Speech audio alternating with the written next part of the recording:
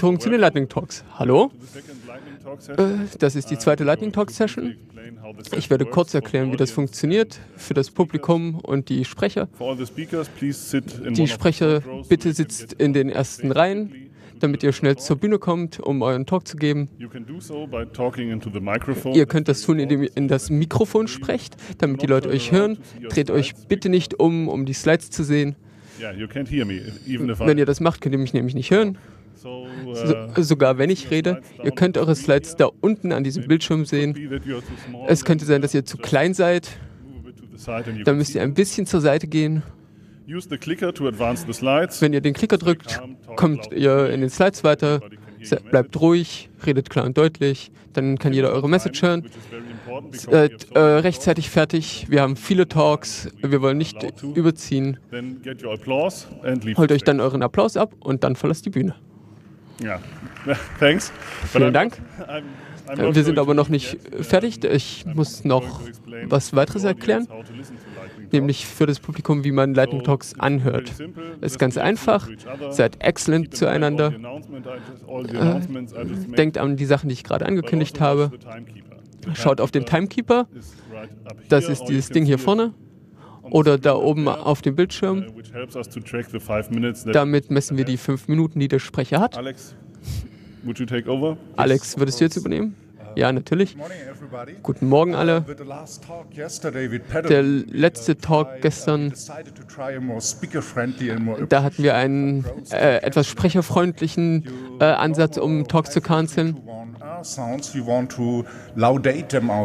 Uh, normalerweise wollen wir sie herausklatschen mit Applaus, um den Talk äh, zu beenden. Das ist viel besser für den Sprecher und für euch auch. Für die Sprecher. Wenn äh, der Timekeeper in diesem grünen Bereich ist, dann seid ihr in den ersten vier Minuten, dann habt ihr noch viel Zeit. Wenn er so ist, dann habt ihr nur noch ungefähr eine Minute äh, übrig, wenn er gelb wird. Das sind, wenn die letzten 30 Sekunden kommen, dann wird er rot. Wenn das Rot so nach oben kommt wie jetzt hier, dann habt ihr nicht mehr viel Zeit. Wir probieren einen neuen Ansatz, dann ziehen wir runter, 5, 4, 3, 2, 1 und dann klatschen wir heraus. I think this might work. Actually. Yeah, I think so too because we noticed that most speakers are already on their contact slide and when we bust so. them out, it's not very nice. So we just. Ja, die meisten Leute sind zu dem Zeitpunkt sowieso schon auf ihrer Contact Slide. Da ist es nicht nett, die Leute mit einem Dirt rauszuholen. Uh, so, jetzt ein Hinweis auf die äh, Übersetzung. Yay, Applaus für uns. Wir werden die deutschen Talks in Englisch übersetzen und die englischen Talks ins Deutsche übersetzen. Und alles wird von den Kollegen ins Französische übersetzt. Das könnt ihr euch anhören unter c3lingo.org. Was ihr wahrscheinlich schon tut, wenn ihr hier seid. Wir können dann jetzt losgehen und mit dem ersten Sprecher.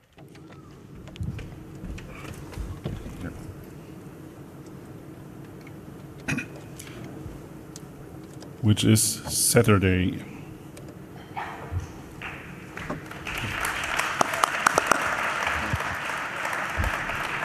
So, good morning everyone. Thanks for oh, being guten here Morgen. so early. Danke, dass ihr so früh uh, hier I'm here seid. to tell you about uh, a little uh, project that I'm working on Saturday. Ich bin hier, um euch von einem kleinen Projekt, an dem ich arbeite, zu erzählen, Saturday.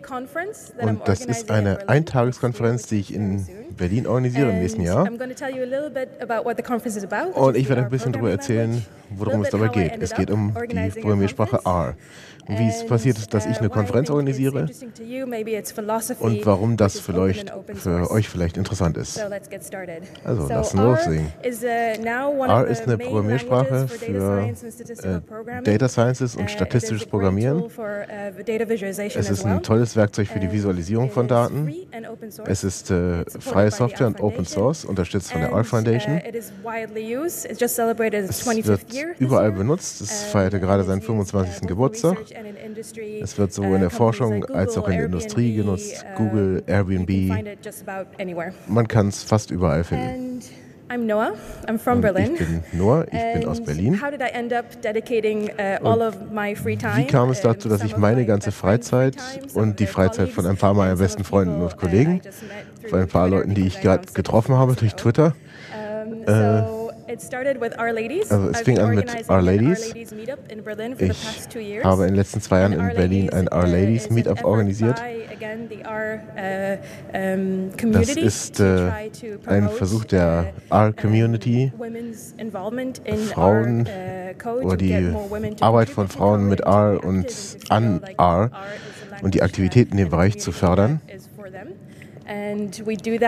Und wir machen das, indem wir Meetups und Mentorenprogramme anbieten. Ich glaube, also es ist mein Nebenprojekt und äh, mit meiner beste Arbeit der letzten zwei Jahre.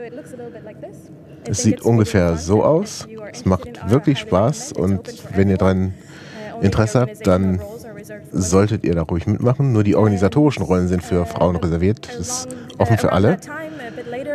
Und äh, ungefähr dann, ein bisschen später, habe ich auch angefangen, bei Forwards mitzumachen, was eine Taskforce der R Foundation mh, mm, zum Thema Inklusion ist, nicht nur für Frauen. Es ist für Leute mit Behinderung, für verschiedene Minderheiten. Und wir machen da alle mögliche Arbeit. Und dieses Jahr war ich das erste Mal außerhalb meiner lokalen Bubble und habe R-Nutzer in anderen, ich kannte R-Nutzer von anderen Orten, unter anderem Data Science Konferenzen. Also bin ich zum europäischen R-User Meetup in Budapest gefahren. Und zwei Jahre davor, in 2016, haben die den ersten Samstag-Event in Budapest organisiert. Ich war wirklich inspiriert davon, davon die Leute zu treffen und so weiter. Und verschiedene Sub-Communities im, in der Our Ladies und in der Our Community. Und wenn man das in Budapest machen kann, warum dann nicht in Berlin? Ich bin mir sicher, Leute haben in Berlin ähnliche Interessen.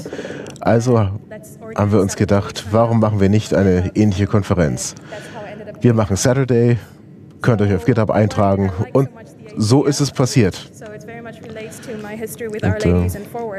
Und, äh, warum mag ich die Idee so? Es hat was damit zu tun mit äh, Our Ladies und Our Forwards.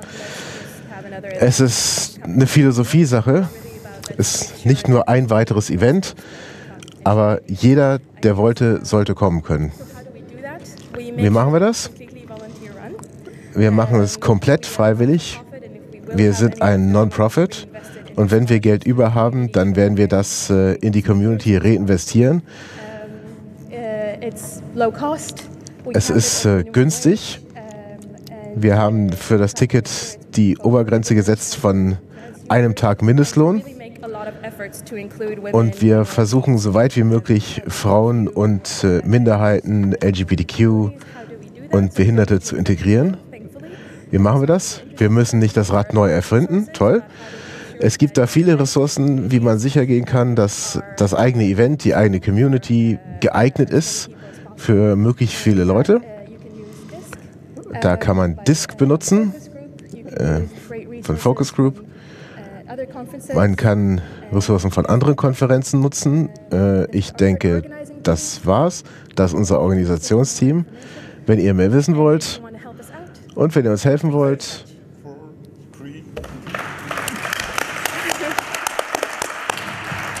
Thank you. Dankeschön. Next up is Der nächste Talk ist Psy-Sector. Or Public Sector Information Directive. Public Sector Information Directive, Information, also äh, die Direktive über öffentliche Informationen, aka Open Data. Ich werde über die äh, öffn äh, öffentlichen Sektorinformationen sprechen. Das ist ein äh, Gesetz für Open Data in ganz Europa, die in den nächsten Wochen in Br äh, Brüssel verabschiedet werden wird. Was hat es mit dem Kongress zu tun? Idealerweise äh, äh, entspricht es der Hackerethik, öffentliche Daten zu nutzen und äh, private Daten zu schützen. Ich arbeite für die Open Knowledge Foundation. Wir machen ganz viel äh, Open Data Sachen wie Frag den Staat und Jugendtakt. Was ist Open Data, falls es einer nicht weiß? Das sind Daten, die ihr äh, frei benutzen und äh, weiterverteilen könnt. Äh, ihr könnt sogar ein Business draus machen. Was ihr hier sehen könnt, ähm, ja, das sind ja. Das sind die, ist die Liste unserer Sachen, die wir fordern, dass äh, öffentliche Daten in öffentlicher Hand sein sollten und äh, öffentliches Geld dafür verwendet werden sollte. Das ist der aktuelle Stand im September äh, äh für den ITER-Ausschuss. Äh, das in dieser Legislaturperiode wird es ein neues Open Data geben. Das ist im Koalitionsvertrag. Hier ist eine Illustration, warum das wichtig ist. Äh, anhand von äh, Öffner äh, von Daten vom öffentlichen Nahverkehr. Weiß das, warum ist das wichtig? Wir wollen äh, mehr Mobilität haben und weniger CO2. Das ist der aktuelle Zustand. Da, wo es grün ist, haben wir Open Data. Hier in Leipzig ist das noch. Äh, alles andere ist nicht kompatibel zu 2018. Wenn man keine Daten hat, dann bekommt man so seltsame Sachen wie hier. Das ist in ganz äh, Europa so. Wenn es so weitergeht, dann werden wir früher Leute auf dem Mars haben als öffentliche Nahverkehrsinformationen in Europa. Aber es gibt Hoffnung, wenn wir offene Standards, offene Software, offene Daten benutzen, dann äh, gibt es ein großartiges Beispiel aus Helsinki. Ähm, das war offen und dann wurde es äh, übernommen, weil es modifiz äh, modifizierbar ist. Dann hat Miran das übernommen, obwohl es eine ganz kleine Stadt in Italien ist. Und da gibt es jetzt eine Live-Karte, wo die äh, Busse sind. Und das hat ein einziger Entwickler gemacht, weil Helsinki äh, das zur Verfügung gestellt hat. Was das bedeutet, ist, man kann von Hand äh, weggehen, von alles von Hand zu machen zu industrieller Datennutzung. Und dann kann man das in ganz Europa ausrollen. Und dafür soll es diese Direktive geben. Da gibt es nicht nur diesen Fall, das ist auch für andere Sachen nützlich, zum Beispiel im öffentlich-rechtlichen Rundfunk, sodass man den äh, Content sehen kann und es nachher benutzen kann. Ich habe keine Ahnung, wie viel Zeit wir noch haben, worüber ihr grundlegend nachdenken sollt, wie cool es wäre, wenn ihr öffentliche Daten einfach äh, benutzen könntet, wenn sie als Infrastruktur äh, zur Verfügung gestellt werden würden. Guckt einfach an, wer das macht und dann kontaktiert uns, wenn ihr interessiert seid. Und damit bin ich dann schon fertig. Wir haben sogar noch äh, Zeit für ein QA. Thank you.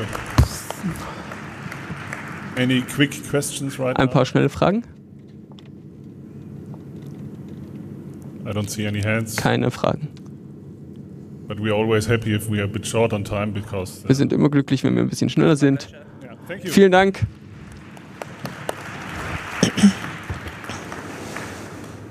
Next up is Password Strength Meters.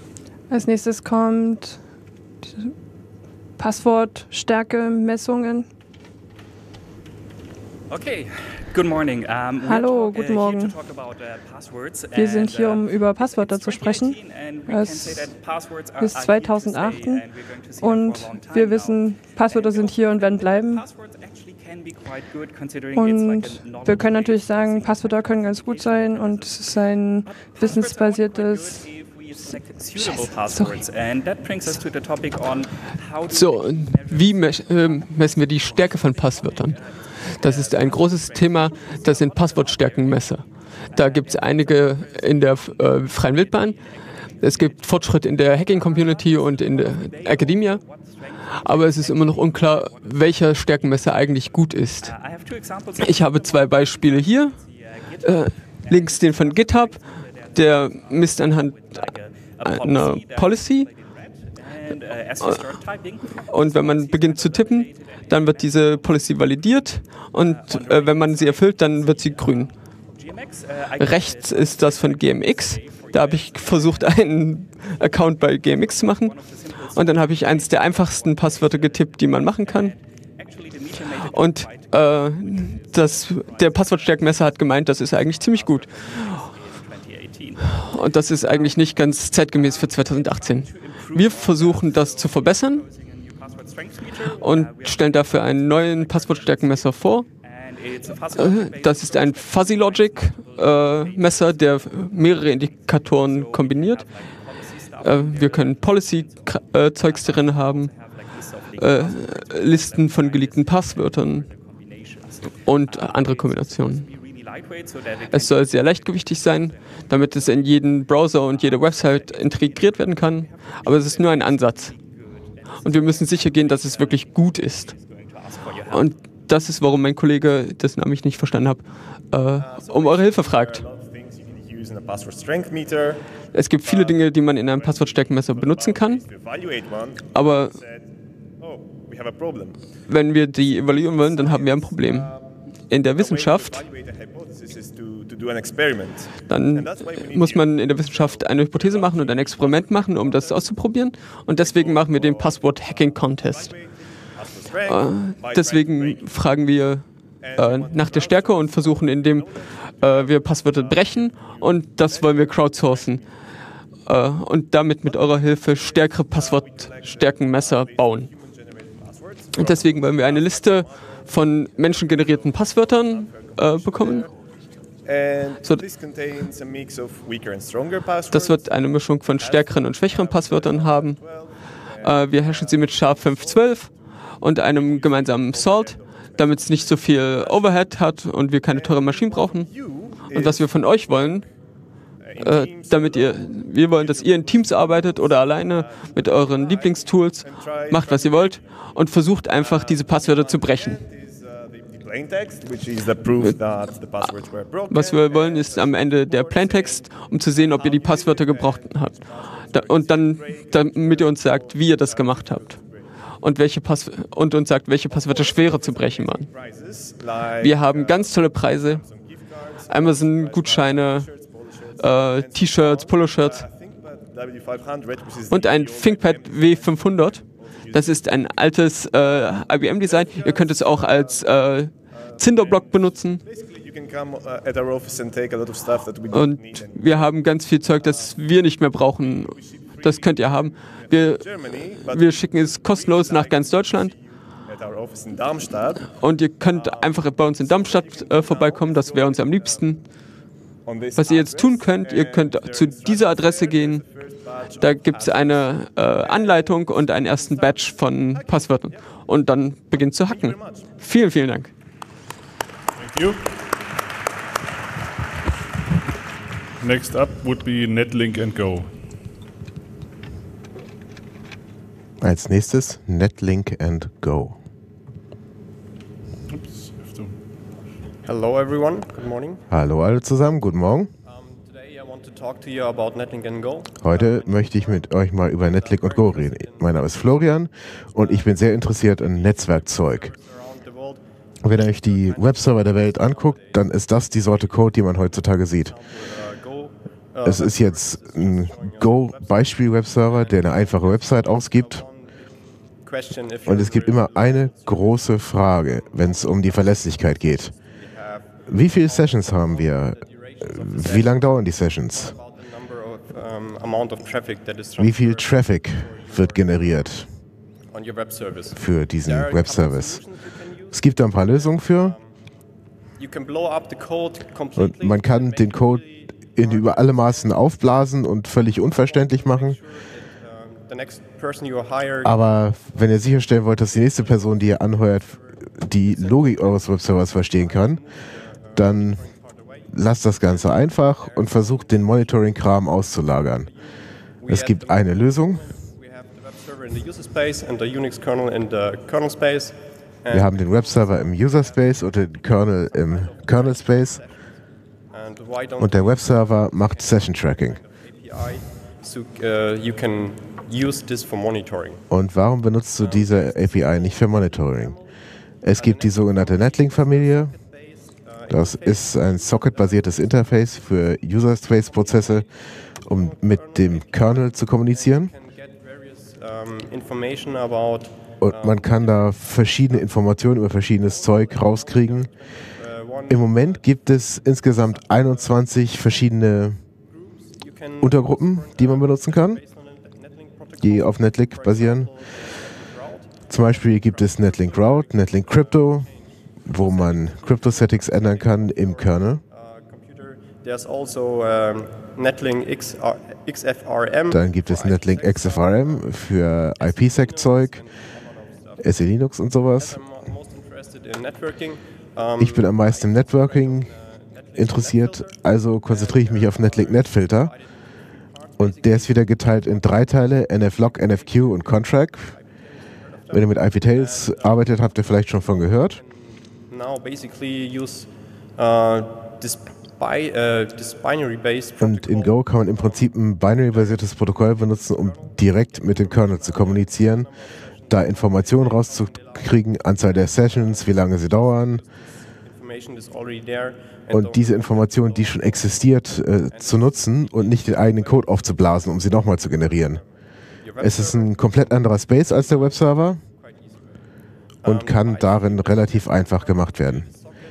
Der Bytestream, der über Socket aus dem Kernel kommt, ist im Prinzip nur ein Bytestream.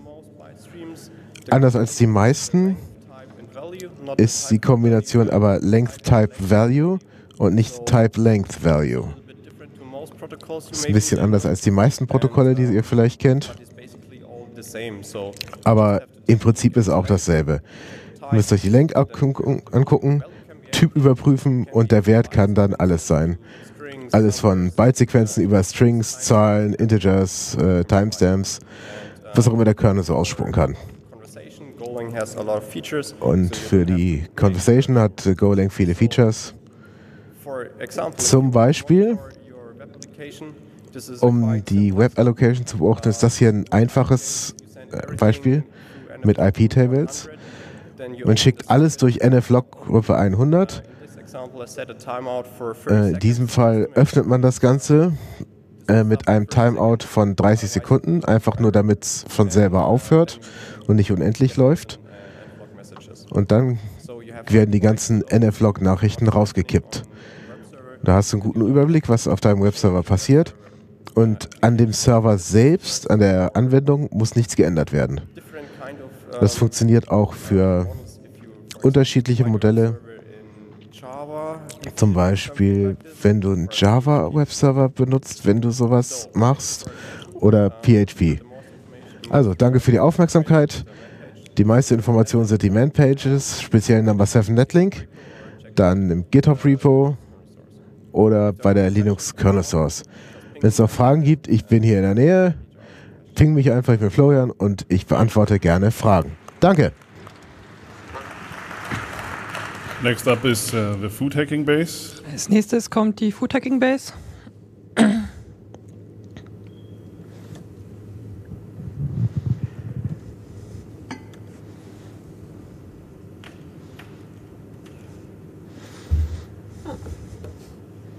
Again?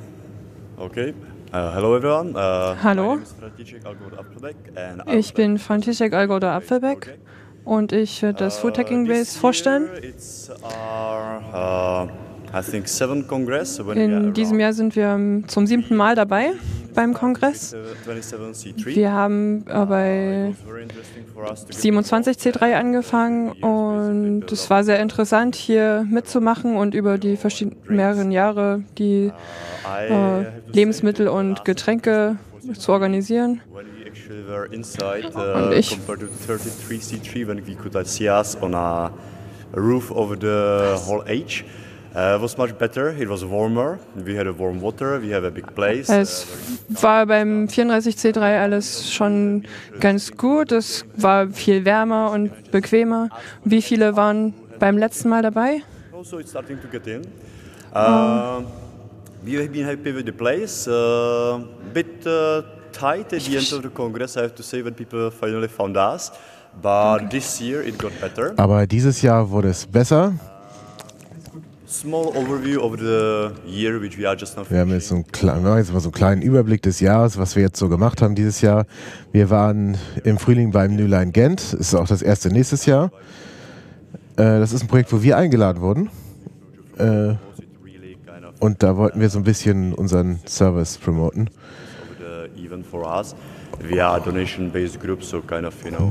Wir basieren auf äh, Spenden. Wenn ihr uns äh, supportet, dann ist das gut. Wenn nicht, dann ist das auch so. Wir schaffen das auch so. Wir waren in Belgien. Wenn ihr mir folgt, Wir tun Crowdsourcing für große Kampagnen. Äh, wir haben herausgefunden, dass es äh, schwierig zu machen, um das alles zu decken. Wir haben Erfahrung. Äh, noch eine andere. Ich weiß nicht, wie viele von euch beim EMF waren. Das war sehr nett. Wir haben ein küchenfreies Environment gemacht. Es war schwierig, unseren Kram von Europa nach Großbritannien zu bekommen, aber wir haben es irgendwie geschafft. Das war okay. Dieses Jahr sind wir auf dem 35C3 äh, ihr könnt uns in Halle 2 finden. Äh, äh, ganz hinten in der Ecke, wo es zu Clark geht. Heute machen wir ein Evening-Tasting, ist schon total voll. Es, wir sind sehr überrascht, das ist sehr schön von den ganzen Leuten, die kommen. Äh, ich muss sagen, es ist einer der ersten Abende, wo wir als Co-Gruppe nicht so viel machen müssen.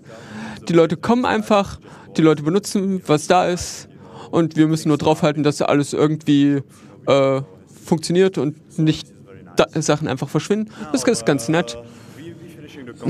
Wir werden den Kongress dann fertig machen. Wir hoffen, dass wir auf dem Camp in Zednik sind. Äh, also wir hoffen, dass wir auf dem Camp sind. Wir werden mit der Orgera reden und wir werden Testing-Events, Workshop-Events machen, wir werden Kombucha machen, Beef Jerky, wir werden Inkubatoren aufsetzen. Wir würden ganz gerne äh, ein Fermentationsprojekt machen, ein mobiles Fermentationsprojekt.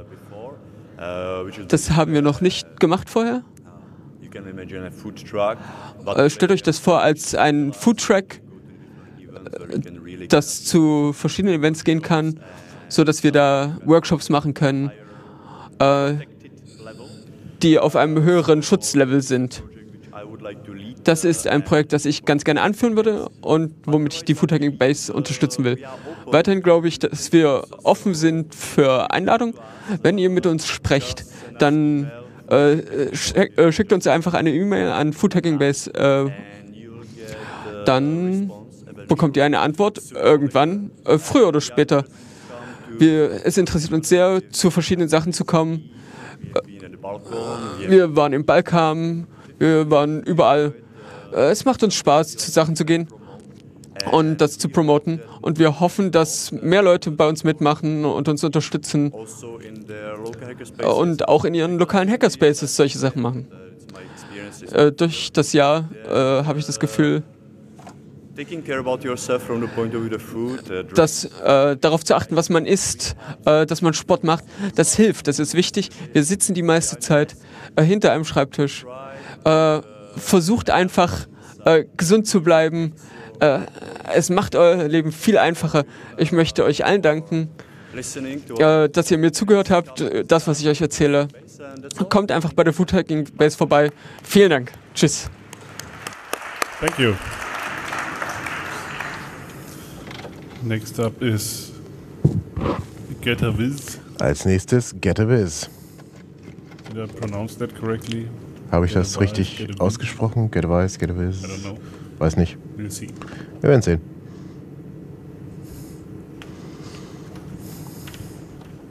Hello, I'm here to present GetAWiz. Hallo, ich bin hier, um GetAWiz zu präsentieren. Das ist ein Forschungs- und Open-Source-Projekt, um Software-Engineering-Probleme in drei einfachen Stiffen, äh, Schritten zu lösen. Und diese drei Schritte stelle ich euch vor. Schritt 1, wir sammeln sehr viele Daten über dein Softwareprojekt. Das kann alles Mögliche sein. Wir suchen, nutzen dafür JQ Assistant. Äh, hat äh, eine grafische Aufbereitung mit sehr vielen Plugins, wo man verschiedene Datenquellen unterstützen kann. Im Moment sind das fünf verschiedene Sprachen, zwei Versionkontrollsysteme und viele andere Datenservices wie GitHub Issues, äh, Maven Build Reports, JU Test Reports und so weiter. Im Herzen des Ganzen haben wir eine gigantische Datenbank mit sehr viel Informationen über das Softwareprojekt und das ist die Datenquelle, um die Lösung zu deinem Problem zu finden. Um dabei zu helfen, visualisieren wir die Daten.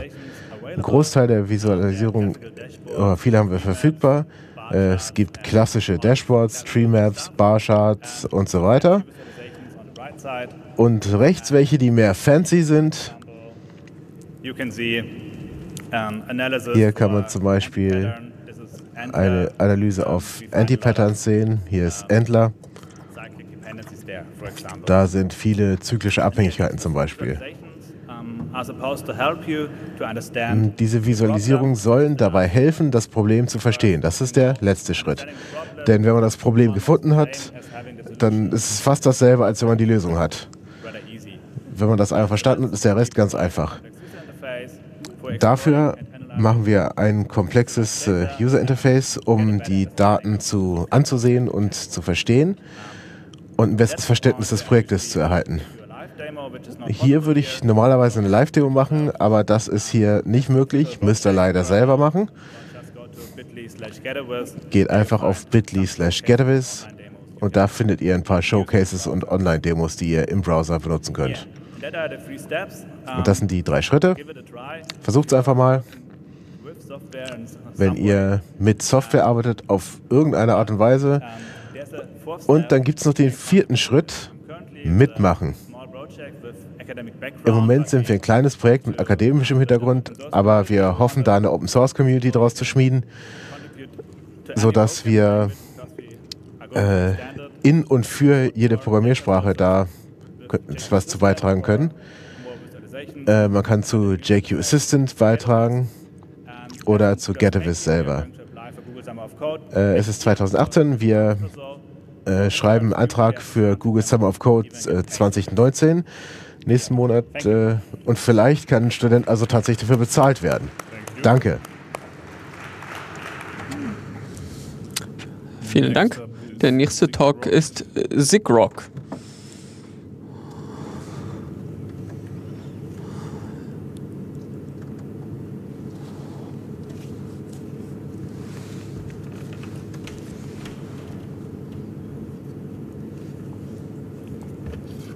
Okay, hello everyone. Hallo zusammen, mein Name ist Sören und ich möchte euch mit dem SIGROG-Projekt bekannt machen. Wie ihr an diesem Tisch sehen könnt, versuchen wir alle möglichen Geräte zu unterstützen. Alles, was irgendwie mit Tests und Messen zu tun hat. Multimeter, Oszilloskope, Logikanalysatoren. Derzeit unterstützen wir mehr als 200 Geräte. Die Frage ist, wie machen wir das? Wenn ihr den euch den Software-Stack anguckt, dann könnt ihr sehen, dass die Kernkomponente libzigrock ist. Es ist eine Bibliothek, die alle Treiber äh, abkapselt und ein gemeinsames API darstellt. Und damit, dadurch könnt ihr nur eine API benutzen, äh, statt ganz viele. Ähm, ganz unten könnt ihr libusb, libserialport, libftdi, libg lib und Python 3 sehen. Das sind die Libraries, die wir benötigen, um die Hardware äh, zu benutzen. Ganz oben könnt ihr den libzigrock Client sehen. Das ist die Software, die versucht, mit den äh, Geräten zu kommunizieren, sie irgendwie darstellt, äh, die Daten und äh, dann könnt ihr dort noch neben libzigrock die libzigrock Decode Library sehen. Die steht ein bisschen neben libzigrock. Die macht Protokolldecoder, über die ich in einer Minute sprechen werde. Sie benutzt Python und libglib. Der erste Client, über den ich sprechen möchte, ist der obligatorische Command-Line-Client. Man kann es benutzen, um äh, Daten zu bekommen, äh, umzuwandeln. Man kann es gut skripten, man kann es testen, automatisieren. Alles, was ihr tun wollt. Ein anderer Client ist, ist Zigrock Meter. Das ist hauptsächlich darauf abgestimmt, um es mit Multimetern zu benutzen. Man kann Daten messen, loggen, was man halt will. Es hat schon relativ viele Features, aber es braucht gerade einen Maintainer. Wenn euch das interessiert, dann kommt zu uns, sprecht mit uns. Ein anderer Client, der relativ neu ist, ist SMEView. Das ist ein Programm, das ein Source Measurement Unit äh, simulieren soll und eine äh, elektrische Load simulieren soll. Ich habe es noch nicht benutzt, aber ich habe gehört, es ist ganz gut. Ein noch neueres äh, Tool ist LibSigRock Mini Server und das erlaubt euch all, äh, über ein JSON-Interface auf alle eure Devices, die von LibSigRock unterstützt werden, zuzugreifen. Da, damit könnt ihr hier zum Beispiel auf einen Power Supply drauf gucken. Und das letzte, was wir haben, ist äh, PulseView. Das ist äh, die Software mit den meisten Features, die wir haben. Unser beliebtester Client. Ihr könnt es auch unter Linux, Windows, OS X und Android benutzen. Es ist sehr flexibel in dem, was es tut. Hier könnt ihr ein Standard-Setup sehen. Ihr habt zwei Signale, SCL, SCA, was ihr über einen Logic Analyzer bekommen habt. Und darunter ist ein äh, Protocol Decoder, um das zu visualisieren, um es in einem äh, Weg darzustellen, der Sinn macht. Was wir hier machen ist, wir wollen einen Schritt weitergehen, um äh, so dass ihr eure Protokolldecoder in Python schreibt, damit ihr noch mehr aus euren Daten rausholen könnt. In diesem Beispiel haben wir ein DS1307 äh, Echtzeituhr dran gepackt. Da könnt ihr sehen, was die Daten für den Chip meinen und für, den, und für andere Chips. Das ist ziemlich cool. Das erlaubt euch, äh, jedes Oszilloskop, das ihr habt, wenn ihr einen Treiber dafür habt, äh, äh, und so könnt ihr noch andere Protokolle da dran flanschen, die es normalerweise nicht unterstützt, äh, solange ihr einen Treiber habt. Also, Was ich jetzt noch sagen möchte, es gibt ein Cypress Development Port für, mehr als 10, äh, für weniger als 10 Euro, das ihr benutzen könnt, mit LipSigRock benutzen könnt, um einen 10 Euro Logic Analyzer zu haben, der eigentlich ganz viele Features hat schon. Und wir haben mehr als 100 Protokolle zur Verfügung. Und dann habt ihr ganz plötzlich äh, für 10 Euro ganz viele Sachen auf eurem Arbeitstisch zur Verfügung.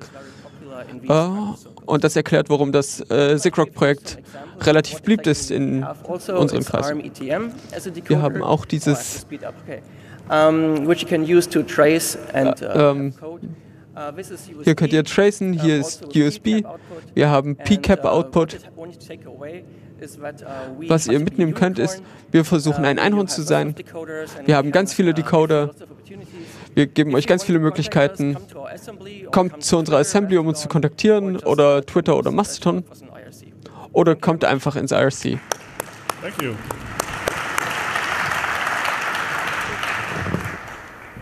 So then next up is uh,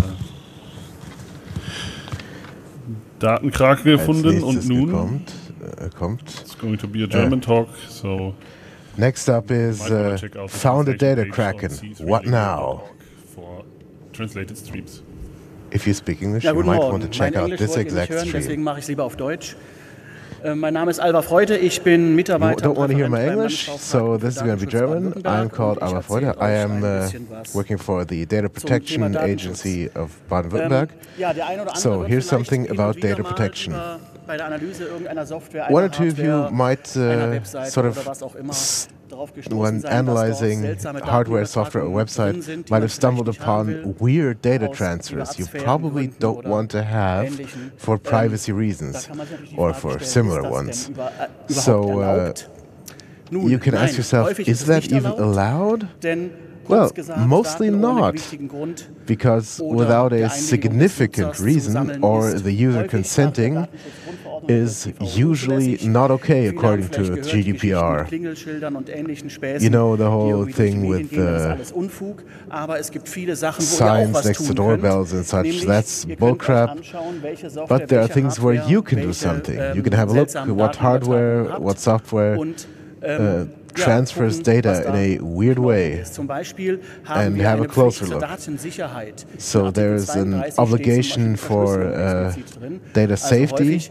Article 32 contains uh, provisions for encryption.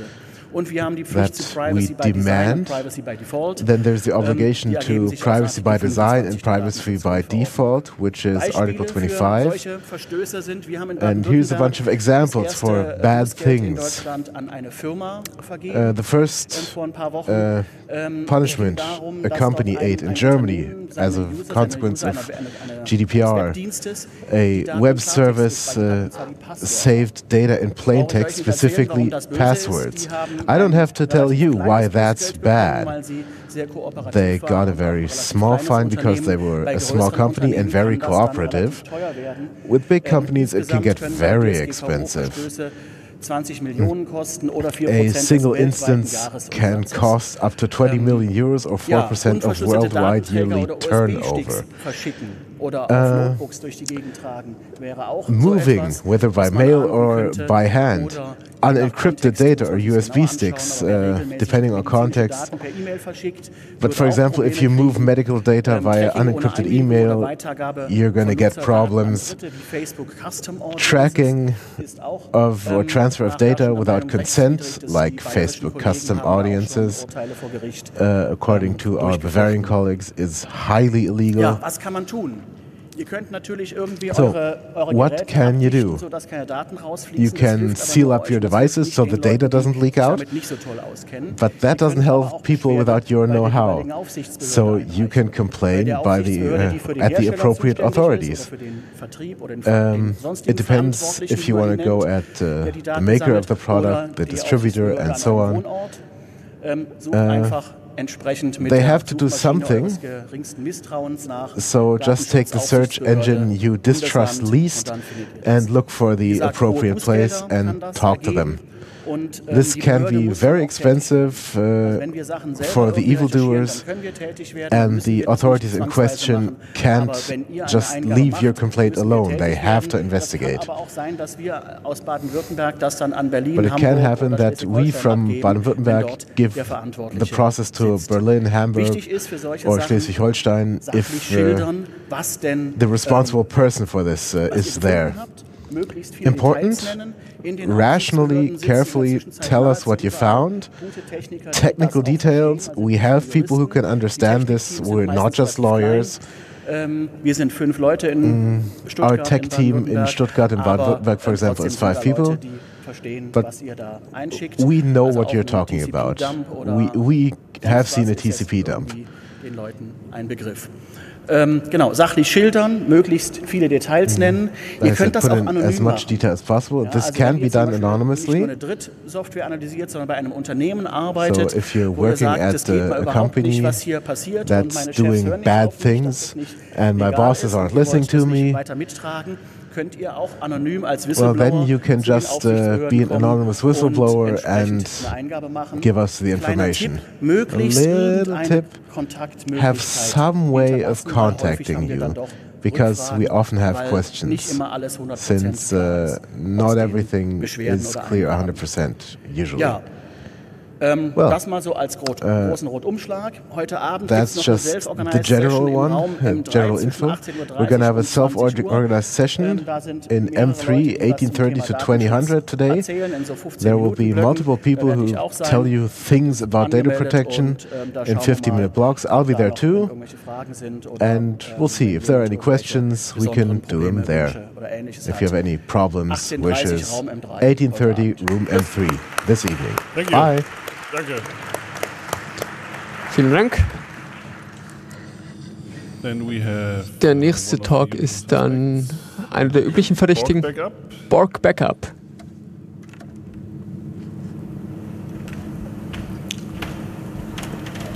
So. Hi. Hallo. Ich wollte ein kurzes Update zu Borg Backup geben. Auf den ersten paar Slides habe ich ein bisschen Überblick für die Leute, die noch äh, nicht wissen, was Borg Backup ist. Mein Name ist Thomas. Kurz die Features von Backup. Es ist, äh, von Borg. Es ist ein Backup-Tool. Man benutzt es üblicherweise auf der Kommandozeile. Äh, es hat ein Interface wie Git oder so. Äh, in der jüngeren Vergangenheit haben Leute auch an einer äh, GUI gehabt haben. Wenn ihr nicht so nerdige Freunde habt, die lieber rumklicken, dann könnt ihr das jetzt auch benutzen. Wir haben eine relativ gute Architektur, Plattform und äh, Dateisystem-Support. Wir machen Deduplikation. Wir komprimieren äh, authentifizierte Verschlüsselung. Und wie man es üblicherweise benutzt, man liest von einem lokal gemounteten äh, Dateisystem und speichert zu einem anderen lokalen Dateisystem oder einem äh, äh, Remote-Server äh, per SSH, wo es mit einem Remote-Borg spricht. Ihr könnt euer Repository äh, Fuse mounten. Wenn ihr keinen äh, Remote-Server habt, dann ist das kein Problem. Es gibt Provider dafür, die sowas anbieten, zum Beispiel rsync.net oder Hetzner. Und ein ganz neuer ist borgbase.com, das ein sehr nettes Webinterface hat. Der Borgbase-Mensch äh, der macht äh, auch diesen GUI-Client. Wenn ihr keinen Server mieten wollt, dann könnt ihr euch einfach einen anderen Nerd suchen und ihr könnt euch gegenseitig eure Backups schicken. Dann muss man den anderen Leuten auch nicht zu sehr vertrauen. Uh, Ein anderer Weg, das zu benutzen, ist, wenn ihr gerne Sachen in der Cloud haben wollt, äh, zusätzlich zu eurem lokalen äh, Repository, dann macht ihr euer lokales Repository zuerst und dann pusht ihr das andere äh, Repository in die Cloud, zum Beispiel mit rclone. Wenn ihr euren eigenen Server habt, dann könnt ihr einfach SSH benutzen. Das GUI-Tool, das ich äh, äh, genannt habe, ist Vorta. Das ist in Python geschrieben und Qt. Es ist hauptsächlich auf Linux und Mac OS getestet derzeit. Aber in der Zukunft könnte man es vielleicht auch unter Windows benutzen wenn man es adaptieren kann. Wie ich gesagt habe, könnt ihr das euren Freunden zeigen. Ein anderes Tool ist Borgmatic. Das ist ein Config-Layer auf Borg obendrauf noch. Wenn ihr lieber ein ini-Style-Config-File habt, dann könnt ihr dieses Tool benutzen. Wenn ihr andere Tools benutzen wollt, äh, dann gibt es ganz viele andere Tools. Sucht einfach danach. Äh, dann könnt ihr das finden. Borg ist allgemein ein Community-Projekt. Wenn ihr in Python, C oder Cyphen äh, schreibt, dann macht bei uns mit. Wir brauchen derzeit mehr, äh, mehr Entwickler. Ihr könnt aber auch helfen, wenn ihr nicht coden könnt. Ihr könnt nach der Dokumentation schauen, ihr könnt testen. Wir haben eine gute Testumgebung. Wir benutzen äh, kontinuierliche Integration. Für Plattformtests benutzen wir Vagrant. Wir brauchen außerdem Unterstützer für verschiedene Plattformen. Wenn ihr zum Beispiel NetBSD oder sowas benutzt, dann kommt auch zu uns. Der aktuelle Status ist, es gibt eine Old Stable, die ist schon vor sehr langer Zeit veröffentlicht worden. Man kann sie in vermutlich jeder Distro finden. Das aktuelle Release ist 1.1. Das ist das neueste Zeug. Das nächste äh, Release, vielleicht 2019, wird hauptsächlich Code Cleanups und Refaktorierungen haben, interne äh, Krypto-API und neues Handling für das Kompaktifizieren von Repos die derzeit noch nicht automatisch sind. Größere äh, Änderungen sind dann im Helium-Milestone und da brauchen wir mehr Leute für. Äh, die Kryptoänderungen werden viel Arbeit sein, Multithreading wird auch viel Arbeit sein. Also wir brauchen auch Community Supporter. Wenn ihr Leute helfen könnt, weil ihr Bock benutzt, dann könnt ihr helfen. Dann könnt ihr auf den Mailinglisten und auf GitHub gucken. Wir brauchen Security Reviewer. Wir haben bekannte Issues, falls da mal jemand über den Code gucken könnte. Ähm, außerdem brauchen wir mehr Sponsoren, mehr Spenden. Wir machen nämlich Bug Bounties mit Bounty Source. Ich bin hier auf dem Kongress, äh, findet mich einfach in der Python Assembly. Jetzt habe ich keine Zeit mehr. Äh, klickt einfach auf diesen Screencast, äh, auf den Link und dann klappt das. Vielen Dank. So, just a quick reminder, all the slides that, uh, the, Eine uh, kurze Erinnerung, all die Slides, die die Speaker auch zu uns hochgeladen haben, die ihr sehen könnt, könnt ihr euch runterladen. lt.de Die könnt ihr finden auf äh, c3lt.de, c3lt.de und da könnt ihr die Slides runterladen. Alright, next up ist äh, also, als nächstes. Äh, oh, uh, that's, that was the browser. Oh, das war der Browser.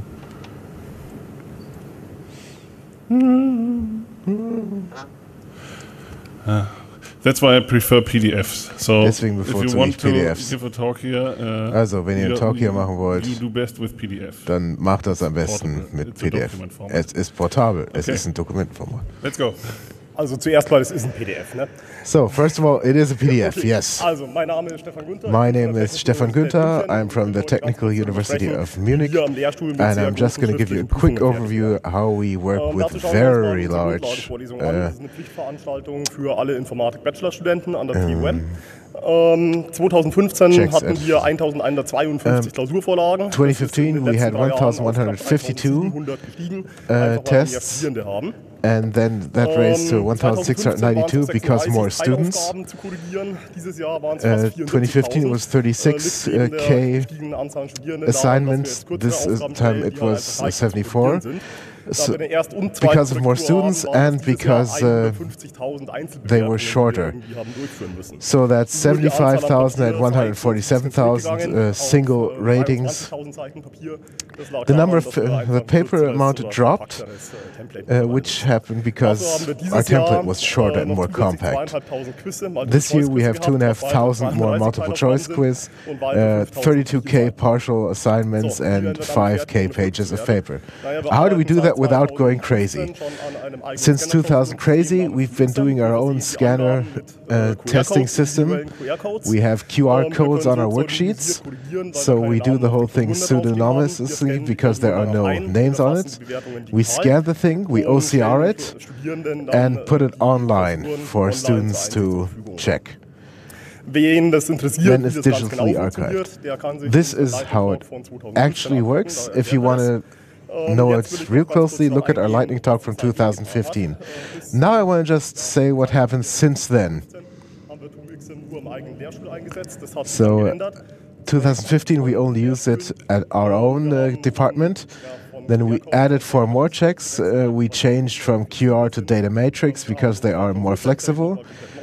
Uh, we had a new templates and LaTeX, re-implemented the data. Uh, we switched the database to Postgres, we bought an 8,000 euro scanner. It would be worth its own talk because the mechanics are awesome, but the software sucks. Uh, we have a new platform for looking at the whole thing online. Our web interface now works with touch and pen. Uh, at the beginning of 17, we integrated the Carfinger testing concept. It's a concept for very compact math quizzes. Uh, now we support small quizzes and multiple choice. Between May and October 17, we pushed 7,500 of those with more than 20 events. We added a VM server called Dreadnought. Um, we're doing experimental e checks since uh, the end of uh, 2017.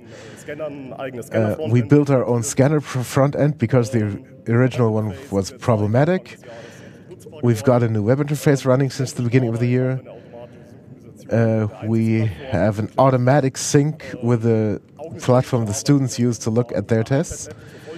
Um, we're working on an iPad app. The work is being done by students. We now work with all testing presets uh, even those done by others. And now this is a lightning talk. If you're interested in this, hit us up at our assembly. Uh, we can talk about it. And if there's something that really interests both of us, we might work together. Okay. Thank you.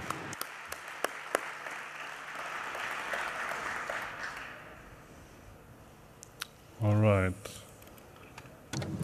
All right. Der nächste Talk ist Irma. Ich gebe meine Attribute zu erkennen. Oh, ich soll diesen Link klicken. Schauen wir mal, was passiert.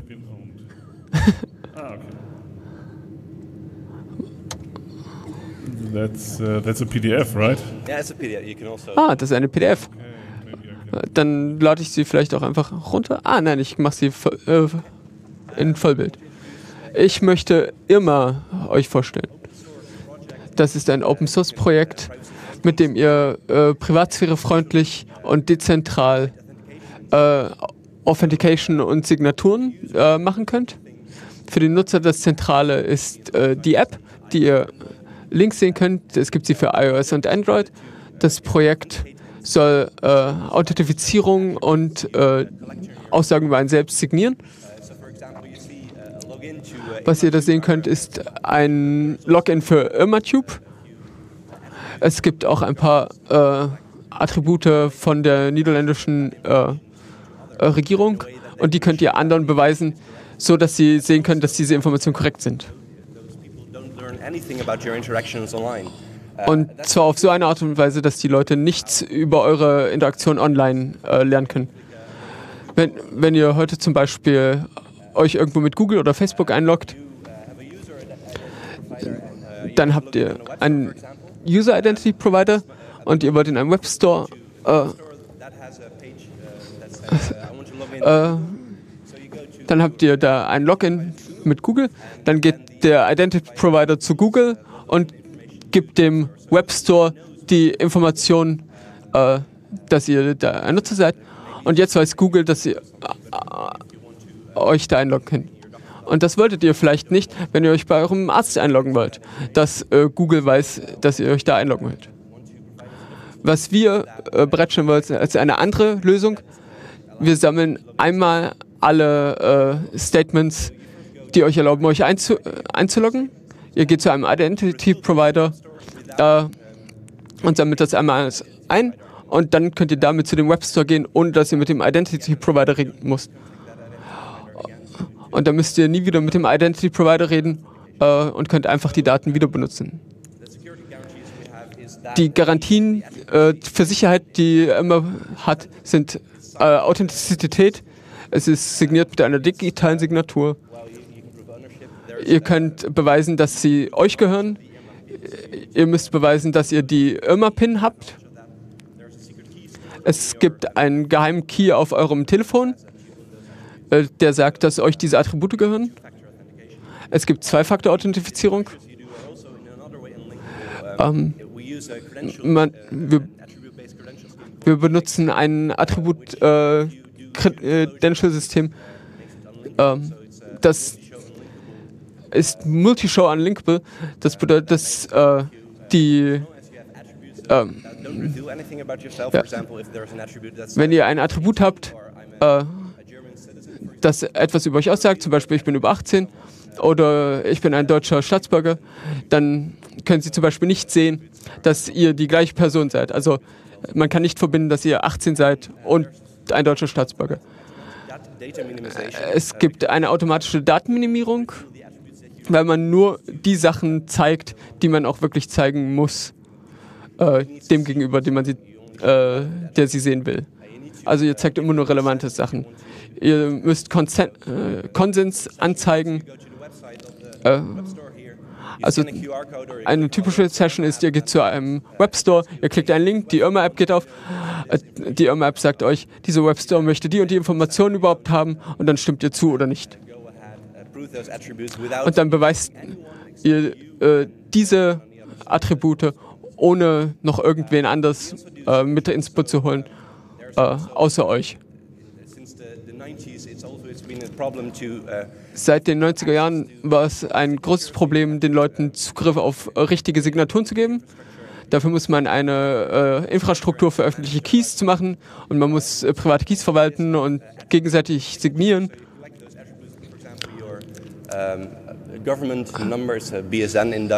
So, zum Beispiel äh, kann man einmal alle Attribute sammeln und das einmal signieren. Hier zum Beispiel ein Beispiel mit meinem Doktor, das signiere ich mit einem Attribut.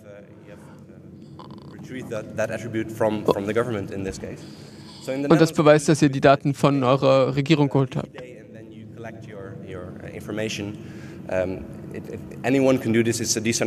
Jeder kann das machen, es ist ein dezentrales System. Wir haben äh, Informationen online, wir sind ein Open Source Projekt, wir haben eine äh, Organisation auf GitHub, es ist in Go geschrieben, äh, es gibt einen Java-Server. Wenn ihr mehr Informationen haben wollt und mitmachen wollt, dann haben wir einen Slack-Channel, äh, den ihr hier sehen könnt. Ihr könnt alle die, äh, die App downloaden. Bitte macht das.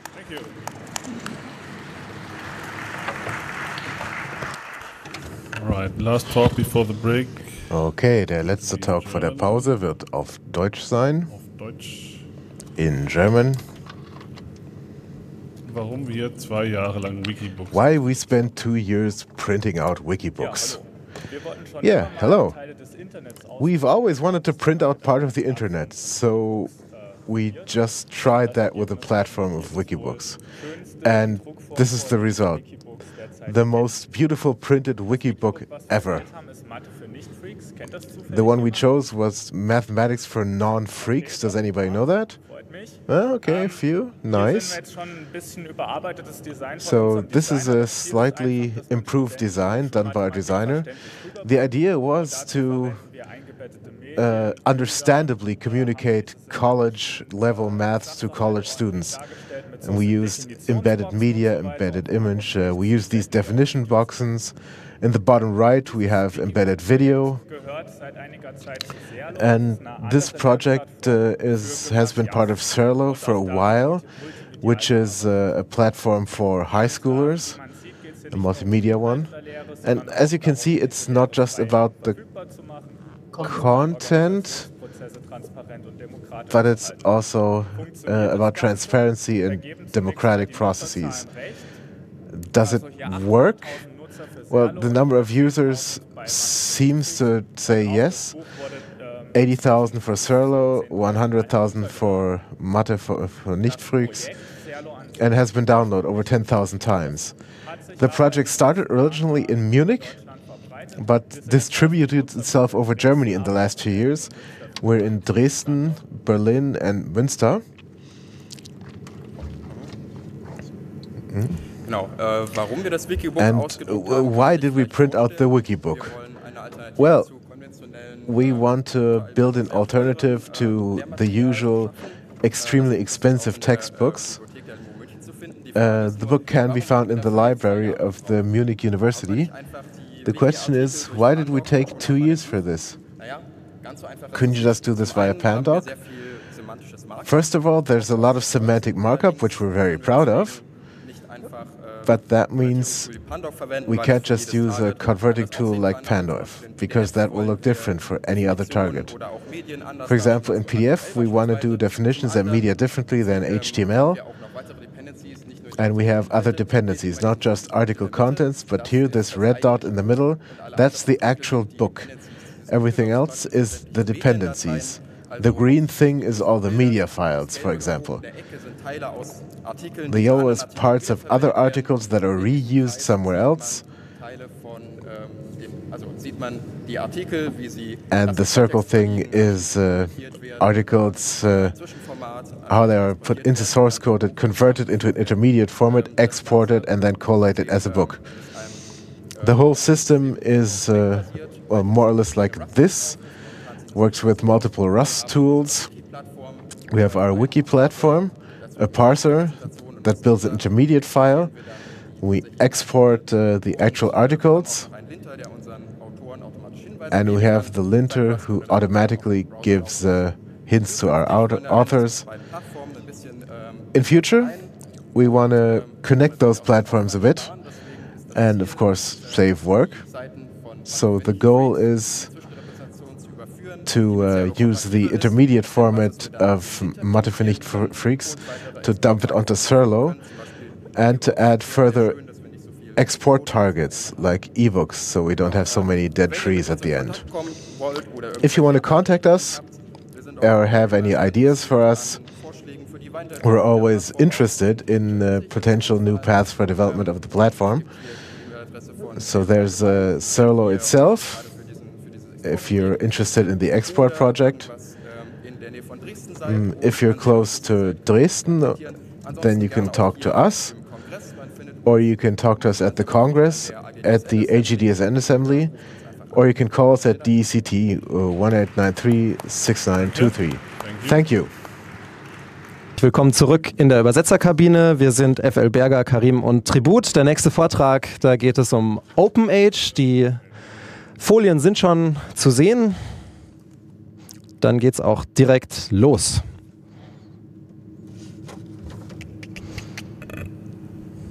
Hi everyone.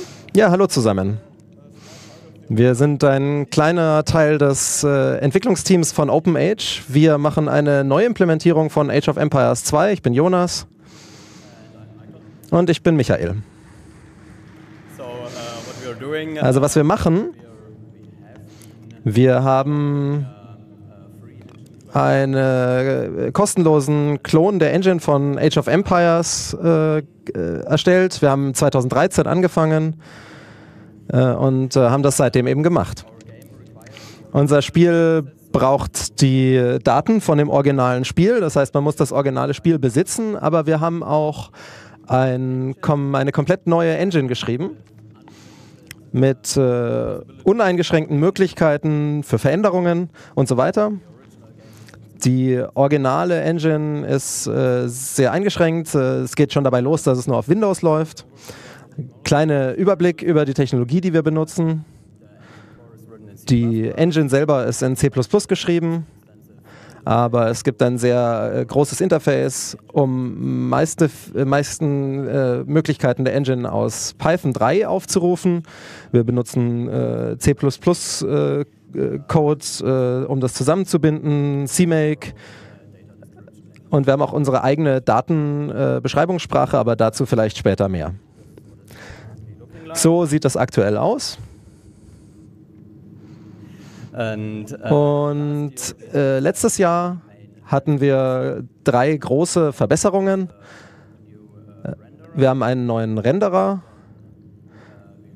Dann haben wir eine neue Weltsimulation, eine, eine Engine für Weltsimulation, die komplett auf äh, äh, Events auf, äh, basiert, Ereignissen basiert und eine neue API für Modding. Das sind alles äh, hauptsächlich Veränderungen im Hintergrund, sehr wenig Dinge, die man sehen kann, die sich äh, verändert haben im letzten Jahr. Aber wir sind jetzt äh, dazu bereit, das alles äh, wieder zu, zusammenzubauen und das Spiel jetzt äh, im Wesentlichen fertigzustellen. Uh, no, die neue zentrale Komponente der Engine äh, ist basiert auf Entity-Komponenten. Also jede Entity hat äh, oder jede Entität hat äh, Eigenschaften. Das ist hier in grün und das hat äh, Bonuseigenschaften. Also zum Beispiel die Einheit steht auf einem Hügel, hat also höheren Angriffsschaden. Äh, und dann gibt es auch manche Sachen, die permanent sind. Also zum Beispiel eine Entität kann existieren, sich bewegen, sterben und so weiter. Äh, in der Praxis sieht das dann so aus, hier ist unsere eigene Beschreibungssprache, mit der man das vereinfacht beschreiben kann. Ein äh, Dorfbewohner, der 25 Lebenspunkte hat, der einfach nur existiert und der kann auch äh, sich bewegen, sterben, angreifen und so weiter. Und auf die Art und Weise kann jede Entität alles tun. Also man kann also zum Beispiel auch äh, dafür sorgen, dass Bäume neue Einheiten trainieren können oder äh, Relikte können auch anfangen, äh, Holz zu hacken, wenn ihr wollt. Das ist eine Übersicht über die API. Alles, was man braucht, um Age of Empires 2 zu simulieren. Die grünen sind, wie gesagt, alle die äh, Fähigkeiten. Wir haben auch neue Sachen wie zum Beispiel äh, Inventarmanagement. Äh, also zum Beispiel eine Person, die einen äh, Stein transportiert, ist jetzt äh, korrekt implementiert und nicht eine zusätzliche Einheit für die Steine. Und man kann auch äh, beliebige Bedingungen haben, die man zusammenbauen kann, zum Beispiel für Technologie. Und das wird so implementiert, eine Technologie ist auch nur wieder eine Entität. Und diese, die Technologie hat ein, den wichtigsten Parameter ist, sind die Updates ganz unten. Das ist eine Menge von Patches. Patches äh, sind eine spezielle äh, Fähigkeit unserer Sprache, dieser Nian-Sprache, die uns erlaubt, äh, Daten in der Datenbank äh, dynamisch zu aktualisieren. Also in dem Fall ist es der, der mehr HP-Patch, der äh, Bewohnern 50 zusätzlichen Lebenspunkte gibt. Und immer wenn diese Technologie aktiv ist, dann wird die Datenbank aktualisiert. Äh, mit demselben Trick können wir auch sowas wie Angriff und Verteidigung also zum Beispiel äh, Angriffe aus der Distanz werden dann korrekt berechnet, dass sie die richtige Menge an Schaden abziehen. Und wir können auch sehr komplizierte Sachen machen, indem wir zum Beispiel äh, eine, ein Katapult äh, beladen oder nicht beladen ähm, simulieren. Und äh, das ist auf Ereignissen basiert. Da wird also alle Ereignisse im Spiel, sowohl Vergangenheit als auch in der Zukunft, die und das Einzige, was der Client macht, ist diese Ansicht äh, abzuspielen. Das ist also nur ein Snapshot. Und jetzt noch ein paar äh, lustige neue Sachen, D Datenkonvertierung und das wär's dann. Macht mit, helft uns, diese großartige Sache zu entwickeln. Herzlichen Dank. Next up is, uh, Der nächste sind äh, Kryptowährungen in Hochinflationsländern und darüber hinaus von Felix Mago. Hallo. Ja, schön, dass ihr da seid. Mein Name ist Felix. Ich äh, komme von der Dash äh, ein bisschen aus Thailand und wir waren gerade ziemlich beschäftigt, um Kryptowährungen aus äh, ja, sehr abstrakten Sachen wirklich auf die Straße zu bringen, also dass Leute die verwenden können. Und das ist ziemlich herausfordernd und ich möchte euch ein paar Erfahrungen erzählen, die wir gemacht haben oder die andere Teams gemacht haben äh, beim Sample der Kryptowährung Dash. Ja, also diese Kryptowährungen waren so ein ziemlich, ähm, ziemlich berühmter Use Case, was äh, die Blockchain angeht. Ähm, aber man sieht im Moment in der wenig Optionen in der echten Welt, mit diesen Sachen zu bezahlen. Das ist wirklich herausfordernd, das zu tun. Und ähm, wenn man da über die Freiheit des Bankensystems nachdenkt, ja, die Kryptowährungen sind da. Und es gibt Studien, die sagen, dass mehr als 60 Prozent aller dieser Tokens im Grunde ähm, Cryptocurrencies sind im Vergleich mit anderen Tokens, die man mit Blockchains erledigen machen. Wenn man sich jetzt Dash anschaut, dann sieht man, dass es eine ziemlich große Zunahme gibt der äh, Akzeptanz weltweit tatsächlich. Und wir starten mit 500 diesem Jahr und sind bei 4500 gelandet. Wenn man sich Bitcoin und die anderen anschaut, dann ist das gar nicht so viel anders dort. Und es ist ziemlich schwer, richtig gute Statistiken dafür zu bekommen weil es gibt ein paar äh, Karten, auf denen man sich registrieren kann, aber das ist, naja, es ist nicht so, da, nicht so, dass man einfach irgendwo hingehen kann und dort eine richtige, valide Nummer bekommt, wie viel Kryptowährung akzeptiert wird in der Welt. Also für Dash sieht es so aus, besonders Venezuela ist tatsächlich der Use Case Nummer eins, wenn man sich das hier anschaut. Es macht auch totalen Sinn. Die haben einfach eine Inflation von 1,4 Millionen Prozent dieses Jahr. Die Leute haben es also wirklich richtig schwer. Wenn man im Morgen einfach ein paar Eier kauft, dann äh, braucht man ein bisschen Geld. Und wenn man sie am Abend kauft, dann braucht man nochmal x-mal so viel Geld. Dash war dort also tatsächlich äh, so ein, hat tatsächlich ein gesundes Ökosystem dort entwickelt in Venezuela, sodass wir tatsächlich sagen können, wenn man so ein Hyperinflationsrand hat, dann ist so eine Kryptowährung tatsächlich ein echter guter Use Case dafür. Wir haben äh, Venezuela, wir haben die Türkei, wir haben ein paar Länder in Afrika, da gibt es noch ein paar mehr, wo das eigentlich wirklich Sinn ergibt. Für mich, ich meine, aus einer geschäftlichen Perspektive, wir schauen uns natürlich die, die Hyperinformationsländer an, äh, wir wollen aber auch natürlich darüber hinausgehen. Da muss natürlich alles vorher installiert sein. Ne? Man braucht also, man muss Steuern bezahlen, man muss die Regulation sich angucken. Wenn man also sich die Händler anschaut, dann ist so der Punkt, okay, die haben ganz viele Fragen. Und die wichtige Frage, der wichtige Punkt ist, die interessieren sich eigentlich überhaupt nicht für Kryptowährung als solche. Die wollen eine einfache Lösung haben, die in ihren Businessprozess mit reinpasst. Und die wollen möglichst, also möglichst auch nichts investieren da rein unbedingt. Und auch keine zusätzliche Software und Hardware und Weiterbildung dort äh, investieren. Wir gehen also zu den Händlern hin, wir versuchen zu verstehen, was was die wollen und wie wir denen helfen können, ein System einzurichten äh, und natürlich auch später das System zu supporten und Fragen zu beantworten. Wenn man also sich äh, Crypto-Payments auf der Straße anschaut, da gibt es immer noch viel mehr Fragen, die unbeantwortet sind. Regulierung, wie ich schon sagte, mit Steuern zum Beispiel. Auch wie ähm, integriere ich das halt in diese Point-of-Sale-Systeme, die halt direkt einfach Kassensysteme sind. Äh, eine andere Sache ist, wir fangen mit den niedrig hängenden Früchten an. In Thailand, da gibt es äh, einfach einen Haufen Bit Bitcoin-Shops, die haben auch einen Aufkleber an der Tür. Und so, und die Leute haben das aber total vergessen. Wir gehen also in diese Läden rein und die sagen, Bitcoin, was? Die haben das eigentlich total vergessen, weil äh, die Staff das mal draufgeklebt hatte und das aber gar nicht mehr weiter supportet hat. Deswegen ist es wirklich wichtig, dass man ähm, kontinuierlichen Support hat. Und das äh, größte Problem, was sie haben, ist, sie wollen einfach Geschäfte machen. Ne? Sie wollen, dass ihr äh, Geschäft läuft, sie wollen ihre Produkte verkaufen und sie wollen mehr Kunden bekommen. Und am Schluss des Tages wollen sie glückliche äh, Kunden haben, denn glückliche Kunden kommen zurück. Und da ist unser Ansatz, in Thailand zum Beispiel, ähm, ist wir wollen gesunde Ökosysteme haben für ökonomische Ökosysteme. Also man braucht, wie gesagt, eine ganze Sache von Dingen, die zusammenspielen müssen. Man muss also die, äh, die Sachen eintauschen können, man muss den Cashflow als äh, Männer verwalten können, als Händler. Ähm, möchte ich die behalten jetzt aus spekula äh, spekulativen Gründen? Oder will ich die sofort verkaufen, wenn ich die bekommen habe? Wir brauchen also diese Zahlungsdienstleister dazu. Wie gesagt, auch Steuern spielen eine Rolle, das ist die eine Seite. Und die andere Seite ist die Kunden, die reinkommen. Ähm, man braucht also erstmal überhaupt eine Community, die dort reinkommt und das, äh, das damit bezahlt tatsächlich, die das nicht nur hortet, sondern die in Geschäfte reingeht und bezahlt. Also am Schluss geht es darum, dass man wirklich Ökosysteme hat, die dort funktionieren. Dankeschön. Thank you. Next up ist BulkCon. Der nächste äh, Talk ist BulkCon. Good morning. Guten Morgen. Uh, ich bin Jelena vom Balkon Orga Team. Ich bin hier, um unsere Konferenz äh, zu präsentieren, ein kleines Hacking-Event.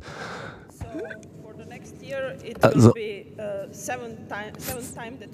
Fürs nächste Mal ist das siebte Mal, dass wir das Event organisieren, Balkan Computer Kongress. Die Daten stehen schon fest, 13. bis 15. September 2019. Uh, uh, Was ist Balkan eigentlich? Äh, wir, das ist in, in Serbien, haben wir angefangen, kleine Konferenzen zu organisieren weil es äh, kleine ähm, in, in, in, Novi Sad gibt es äh, eine Universität, viele Studenten, äh, die technisch interessiert sind. Und wir möchten diesen jungen Menschen in der Balkanregion ähm, mit der Hacking-Kultur vertraut machen. Und ähm, deswegen möchten wir das jetzt zu, einer, zu einem jährlichen Event machen. Und wir hatten viel Spaß und äh, möchten das jetzt wiederholen und laden euch ein, ähm, auch zu kommen. Das sind die ähm, wichtigen Daten. Der Ort ist Novi Sad. Ähm, Talks können eingereicht werden ab Anfang Februar. Ähm, die äh, Deadline für Submissions ist Anfang Juli. Ähm, wir organisieren auch ein CTF ähm, wenn ihr also nicht kommen könnt, dann äh, könnt ihr an dem CTF teilnehmen. Ähm, wer war dieses Jahr ähm, bei uns? Ähm, wir hatten einige bekannte Sprecher. Je Jenny Hoss Virus from, äh, von den, aus den USA war da. Ähm, Rob aus den USA war da. Äh, eine lange Liste von Sprechern, die ihr hier seht. Ähm, ihr könnt auch unsere Website besuchen. Da ist ein komplettes Archiv mit Videos, äh, die ihr euch anschauen könnt, äh, damit ihr einen Eindruck bekommt, äh, wie es dort aussieht. Und was auch wichtig ist, dass wir da äh, sehr viel Spaß haben. Wir haben die Tradition am zweiten Tag abends äh, ein Rakia-Tasting zu machen, äh, auch Rakia Leaks genannt. Wenn ihr also nicht wisst, was das ist und äh, das mal probieren wollt, dann äh, kommt mal vorbei. Ähm, wenn ihr das jetzt probieren wollt, dann kommt doch mal zur Balkan Assembly und probiert das einfach mal, damit ihr schon mal wisst, äh, worauf ihr euch da einlasst.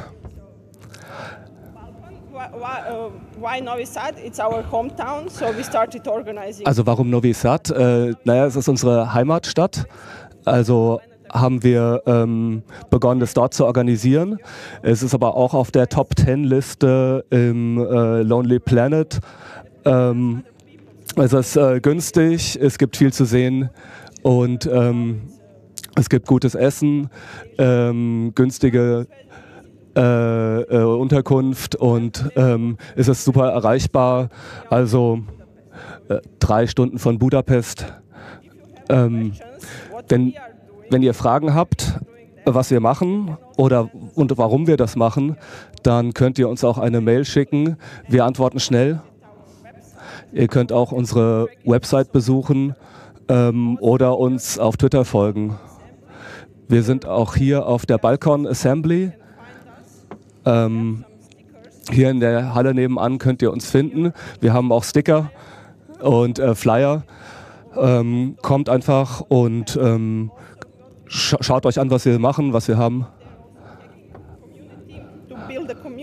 Wir versuchen auch eine ähm, Hacking-Community aufzubauen und haben auch ähm, Hackerspaces. Ähm, und ähm, ihr könnt auch eine Assembly bei uns aufbauen und haben äh, schöne, schöne blinkende Sachen, die ihr zum noch schneller Blinken bringen könnt. Ähm, denkt dran, nächsten September, 13., 14., 15. Bitte kommt äh, zu uns, um viel Spaß zu haben. Vielen Dank. Danke. Now next up is exploiting WPS so, PBC. Nächste WPS PPC auf Windows 10. Alright. Uh, Hallo. Hallo. Mein Name ist George und ich bin der äh, Autor für dieses äh, Wi-Fi-Frameworks. So, heute spreche ich darauf, wie man auf Windows 10 diese äh, Attacke durchführt. So, welche von euch kennen diese Karma-Attacke? Äh, Karma? So, Karma ist eine ziemlich äh, populäre äh, Technik, die im Grunde ein Man in the Middle installiert für diesen äh, Angreifer. Aber es gibt aber noch andere. Und ich möchte über einen Angriff sprechen, der dieses äh, WPS äh, im Grunde über, über Man in the Middle über Wi-Fi angreift. Also WPS, PPC, für die, die es kennen, äh, die es noch nicht kennen, ist äh, so ein Merkmal, das euch erlaubt, ein Gerät oder ein Access Point ziemlich schnell einfach mit so einem Knopfdruck zu assoziieren auf der Access Point Seite und dann ein zweiter Knopf auf dem Gerät und die Reihenfolge ist auch egal. Man drückt äh, entweder das eine oder das andere zuerst. Und man muss es aber äh, innerhalb äh, von 120 Sekunden machen. Es gibt keine weitere Authentifizierung oder andere Mechanismen.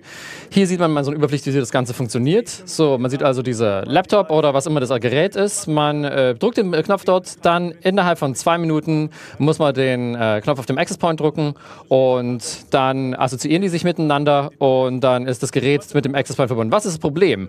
Das Problem ist, dass jemand kann diesen Knopf drücken und zwar schneller als äh, derjenige, der den, an dem Exporting-Knopf drücken möchte.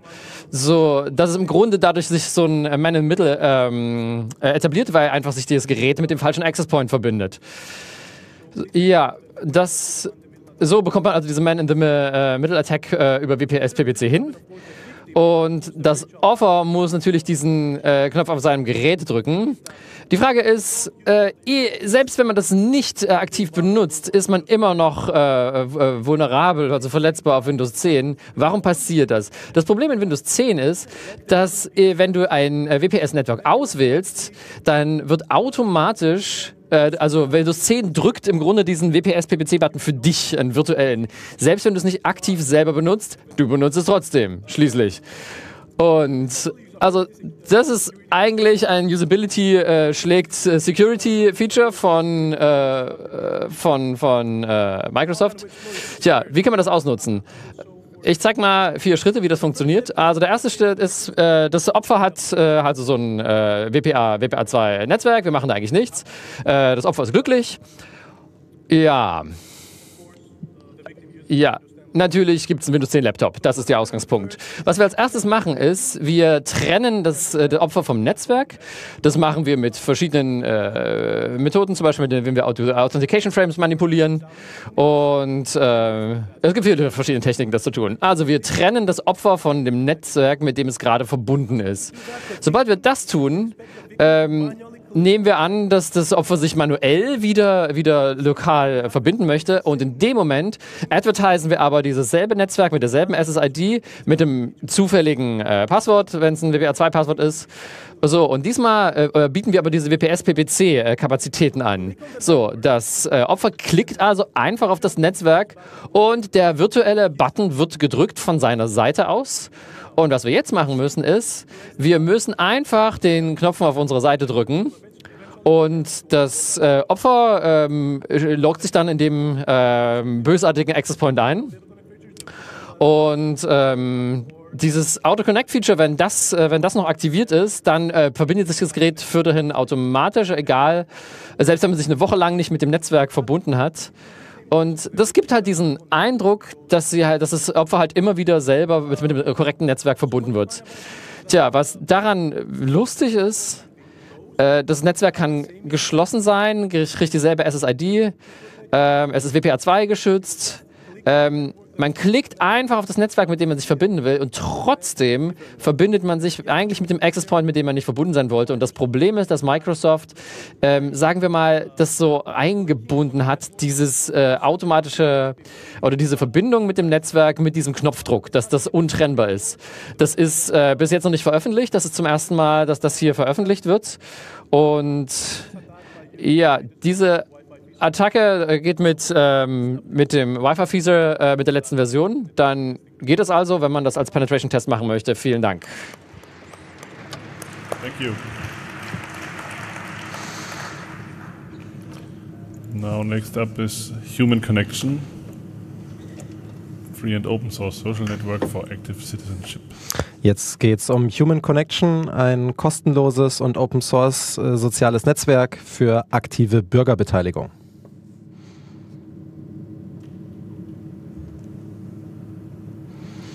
Okay, hello everyone. Ja, hallo zusammen.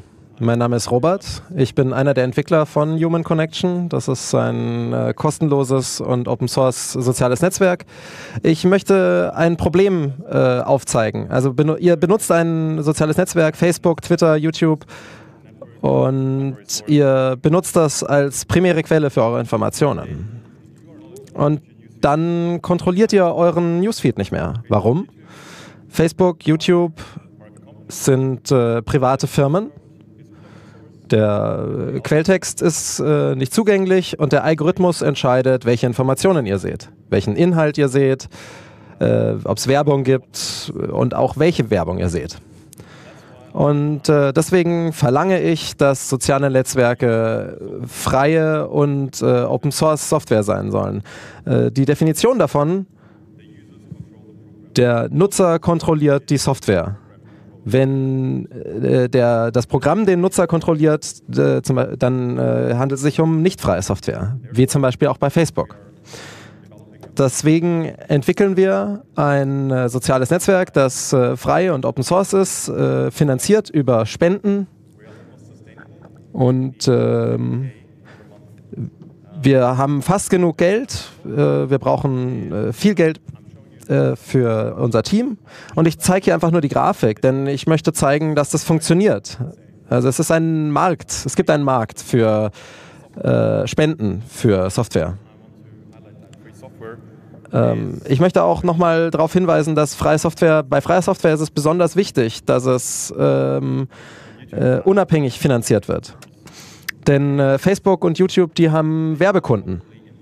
Und die werden wahrscheinlich Features implementieren, die nicht im Interesse des Nutzers sind. Ja? Bei freier Software, da entscheidet das die Community. Und weil die Benutzer das Programm kontrollieren, sollten Features immer im Sinne des Benutzers sein. Also Facebook wird euch äh, Werbung zeigen, das ist definitiv nicht in eurem Interesse äh, und sammelt eure Daten und das ist auch nicht in eurem Interesse, während freie Software das nicht tun wird. Äh, freie und Open Source Software wird euch keine Werbung zeigen und auch nicht eure Daten sammelt. Oder wenn wir es tun, dann tun wir es, äh, um einen speziellen Grund zu haben, äh, mit einem speziellen Grund und ihr könnt den Code auf GitHub angucken und äh, euch anschauen, wie es funktioniert. Also wir haben aktuell einen Übergang zwischen zwei Technologien. Ihr könnt euch unsere aktuelle äh, Arbeitsumgebung angucken, die heißt äh, Nitro. Auf der rechten Seite seht ihr einen Link dazu. Da seht ihr auch die Zugangsdaten auf der rechten Seite. Da könnt ihr jetzt hingehen und das mal ausprobieren. Und äh, weil wir einen Übergang haben zwischen Technologien, sage ich euch eben, was wir benutzen. Wir benutzen jetzt äh, UJS äh, im Backend und Node.js, äh, ähm, nee, UJS Frontend, äh, Node.js Und wir benutzen Neo4j als primäre Datenbank. Wir haben äh, der, auf der alten Version 4000 äh, Nutzer und 2000 äh, davon äh, spenden auch tatsächlich. Ihr habt wahrscheinlich schon von einigen dieser Initiativen gehört, Mastodon, Diaspora, es gibt auch viele andere. Und wir wollen mit denen zusammenarbeiten. Es äh, gute Neuigkeiten, es gibt einen W3C-Standard, der heißt ActivityPub. Das ist wie eine Sprache, mit der verschiedene soziale Netzwerke miteinander sprechen können. Sie können Inhalte austauschen und von der Perspektive des Nutzers ist es nicht wirklich wichtig, welches soziales Netzwerk ihr, also welchem sozialen Netzwerk ihr beitretet. Das ist zumindest der Traum. Wir haben das noch nicht vollständig implementiert, aber wir möchten das machen. Und wir haben zweiwöchentliche Meetings mit anderen ähm, sozialen Netzwerken, mit, äh, wie zum Beispiel Nextcloud.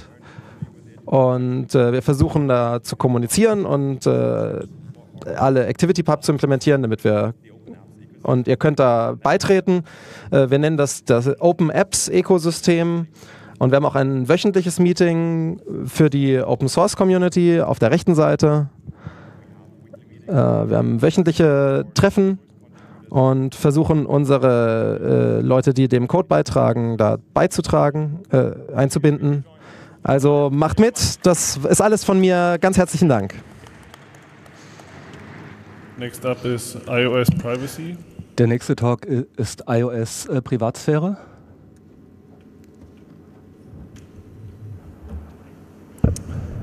Hi. Hallo.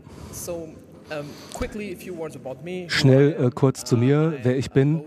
Ich bin sowohl ein Apple-Typ als auch ein äh, äh, Sicherheitsforscher, äh, Aktivist, ähm, kümmere mich um äh, Flüchtlinge und, und äh, arbeite für eine fiese Energiefirma.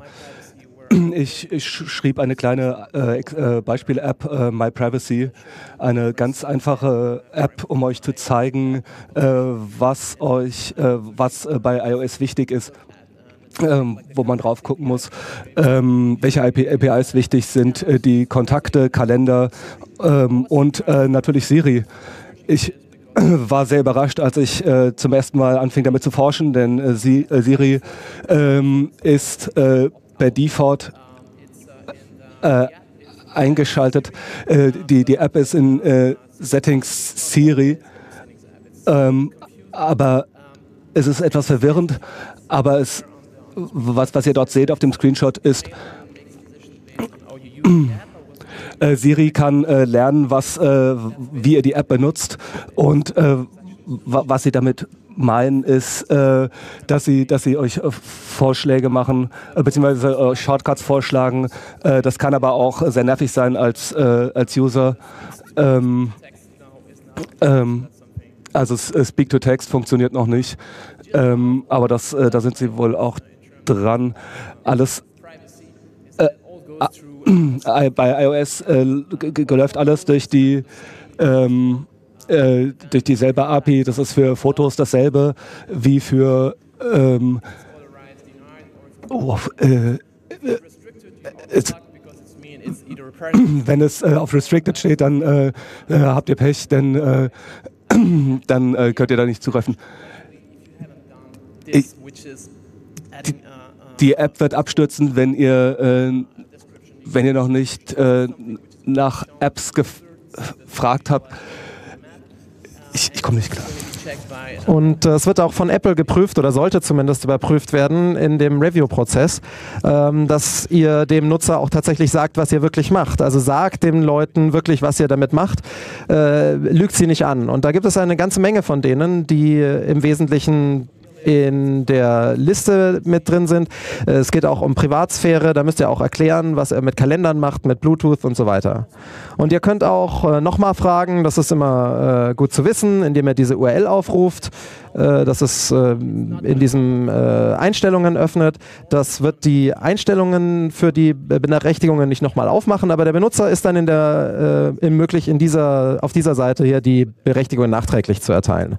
Das heißt, ihr müsst immer nochmal diese, diesen Status prüfen jedes Mal und äh, es gibt natürlich Möglichkeiten, wie man die Daten äh, zugreifen kann, Metadaten wenn ihr zum Beispiel die äh, Benachrichtigung, äh, die, Berecht äh, die Orte-Berechtigung bekriegt. Bitte benutzt die Picker, das ist total wichtig. Wenn ihr die Picker nicht benutzt, dann werden die Leute äh, Zugriff auf das komplette Ding verteilen müssen. Wenn ihr ein guter Entwickler sein wollt, dann benutzt bitte äh, äh, nur spezielle Picker nehmt nicht alles auf einmal, denn das werden äh, schlechte Entwickler werden das machen.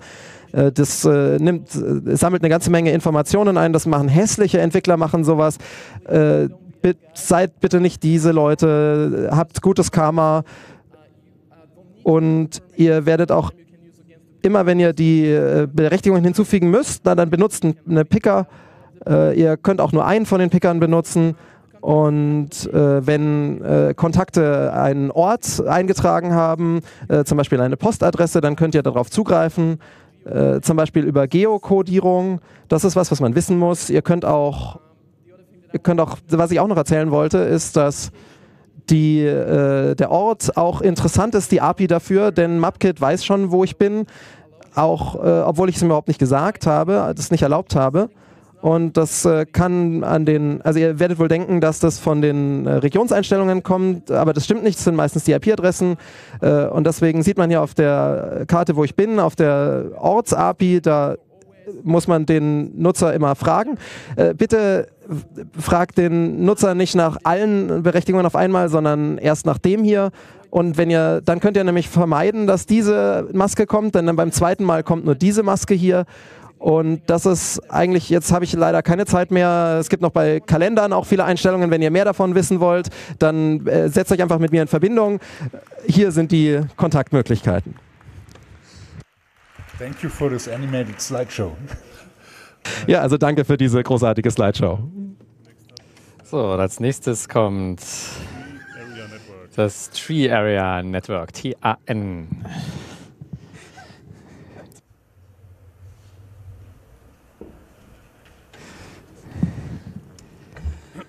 Hallo. Hallo, mein Name ist Ingo. Ich äh, wollte ein Experiment mit euch teilen, was ich dieses Jahr gemacht habe. Es heißt der TAN Tree Area Network. Und als ich diese Präsentation zusammengestellt habe, habe ich mir halt äh, äh, eigentlich nur ein paar Ferienbilder, die ich euch zeigen wollte. Äh, aber was ist äh, kapazitive Verbindung? Das ist eine Technik, um Informationen durch äh, Kapazitoren ähm, durchzubringen. Das heißt, wir haben Informationen, die äh, irgendwo reingekodiert ist. Äh, sie wird verstärkt. Sie wird in ein biologisches Leitmedium, wie zum Beispiel einen Menschen, geschickt. Ähm, äh, und ja, wir haben also einfach diese, diese Körperteile, die eine unterschiedliche äh, Kapazität dann in dem Fall haben und äh, dann kann man Informationen dort reinspeichern und wieder zurückbekommen. Das funktioniert mit Menschen, das funktioniert offenbar auch mit Pflanzen. So, das Dynacon, ähm, diese Konferenz in, in Thailand, ist, ich wollte das mal ausprobieren. Ich wollte dieses äh, Capacitive Coupling, diese Geräte, die ich mir da ausgedacht habe, äh, mir mal anschauen. Und ja, das Experiment war es, mit Bäumen zu versuchen und wenn möglich, dann damit äh, Informationen von einem Baum zum anderen zu schätzen. Und ja, diese Informationen im Grunde von einer Seite des Dschungels zur anderen Seite zu bekommen. Ja, ich wollte mal schauen, ob es überhaupt klappt. Also habe ich hier dieses Experiment gemacht. Ich habe einfach äh, diese äh, kapazitiven Platten dort äh, ja, aber diese Bäume gepappt. Ihr seht an meinem Gesicht so richtig, hat das da noch nicht funktioniert. Hab mir das Oszilloskop angeschaut. Ja, sehr, sehr niedrige Signale. Das war der zweite Versuch. Ich habe das also um, ja, äh, diese Elektrode dort um diesen, diesen Baum ge äh, äh, ähm, gewickelt. Man sieht es am äh, Signal. Ziemlich, ziemlich gutes Signal. Ähm, konnte ich also dekodieren. Ich konnte also Daten äh, fünf bis sechs Meter von, äh, von der Spitze des Baums bis zum äh, Boden übermitteln. So sieht die äh, Zeichnung dafür aus. Der Sender ist im Grunde ein einfacher Schwingkreis, der also eine Trägerwelle äh, von 300 Kilohertz ähm, übersetzt und dann wird das im Grunde mit Standardradiotechnologie oder Funktechnologie verstärkt. So sieht es am Baum aus. Links ist der Sender mit dem äh, Sensor und die Daten werden über den Baum übertragen und werden am anderen Teil auf der rechten Seite dort wieder aufgenommen. Und ja, und wird dann zu einem Computer gesendet, um das wieder auszulesen. Ja, was kann das tun? Ähm, also ich kann On-Off-Keying einfach machen. Das zweite ist, ähm, ich wollte dieses äh, Kostümierung TAN für Baumumarmer machen. Wie kriege ich Informationen von Bäumen? Ähm, das, ähm, ja, ich wollte schauen, ob das mit dem menschlichen Körper zu verbinden ist und ob man die Daten aus dem menschlichen Körper wieder rausbekommt. Das ist also im Grunde, was wir gemacht haben.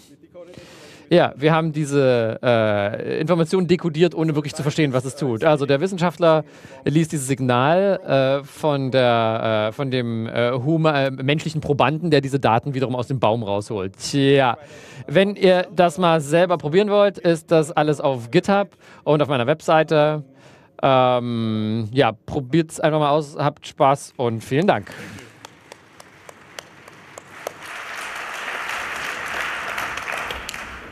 Next up is GNU Linux Improved.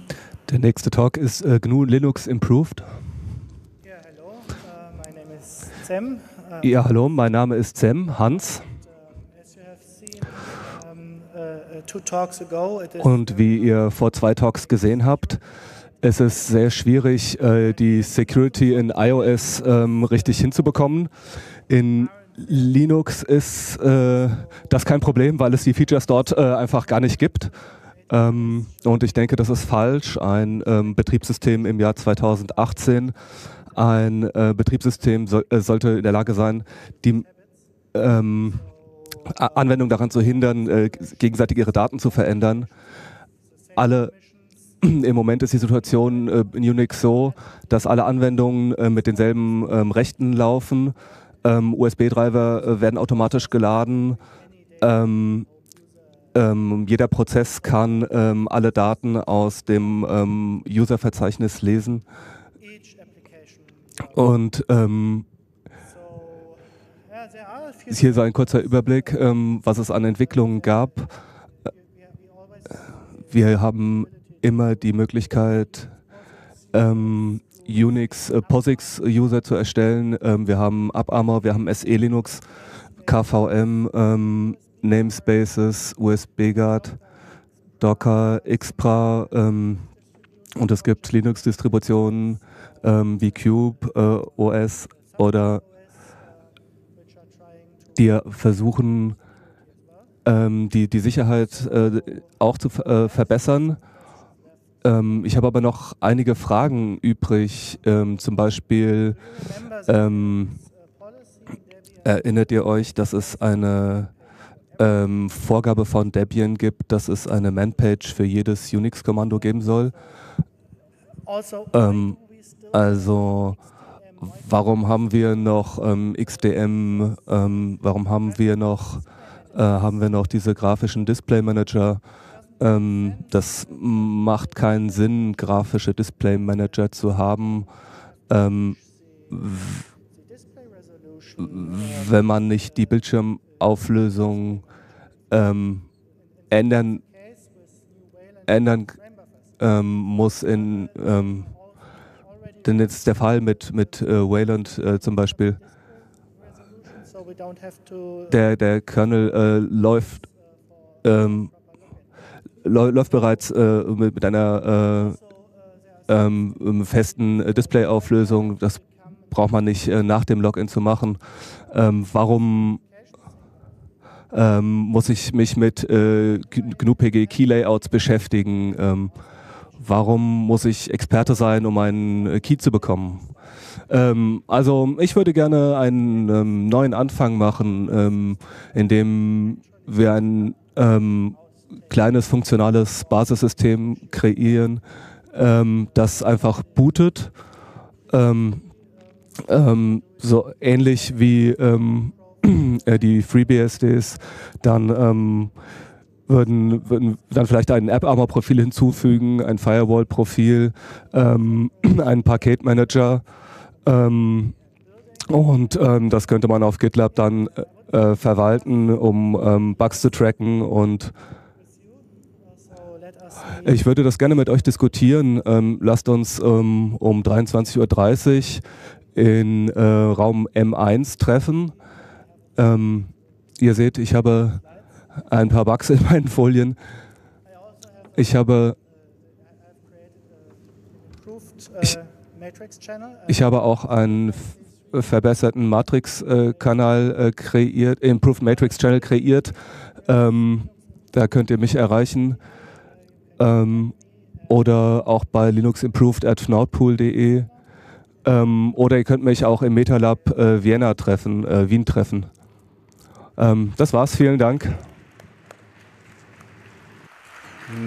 so, der nächste ist Navigation in Linux Kernel Security Areas.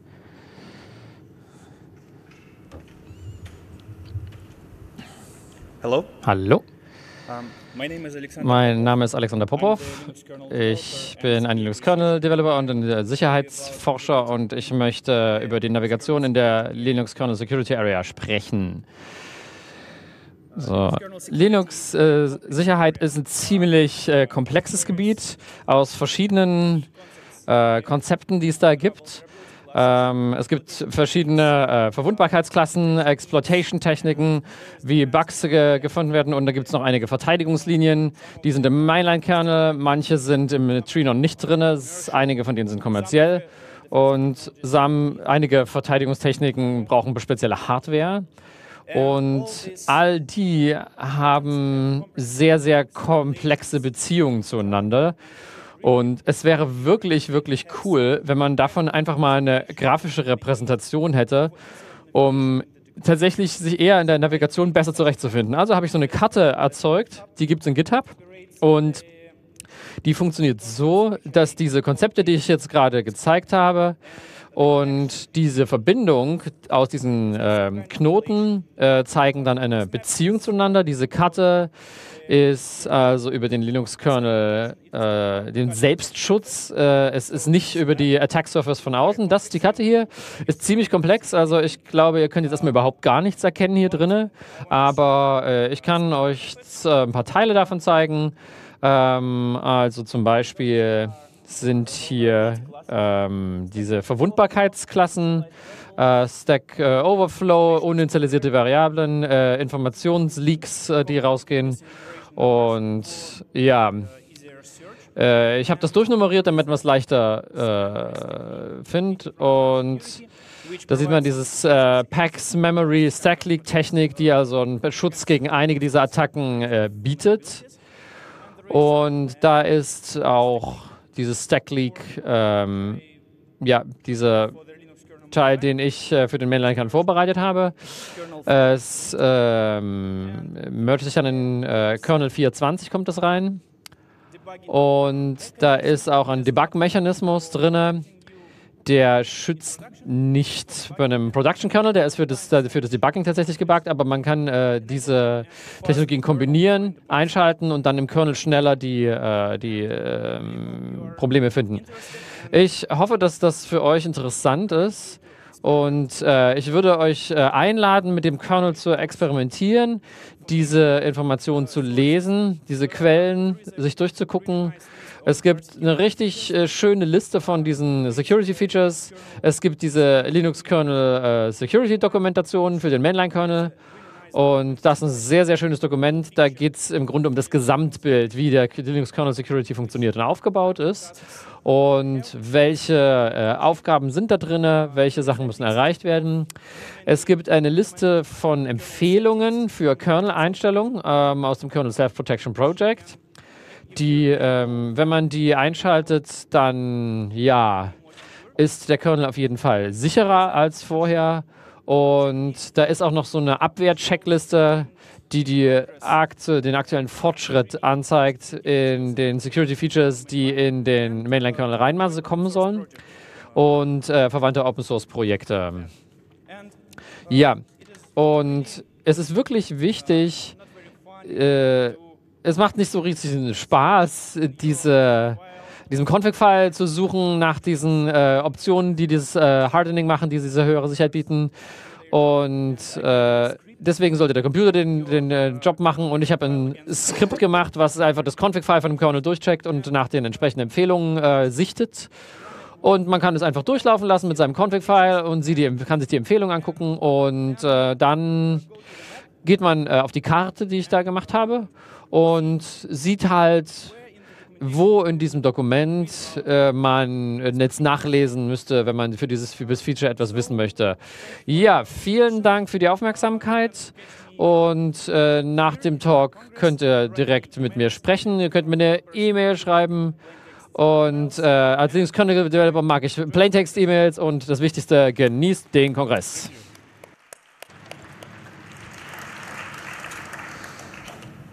Now, next up is ja, und als nächstes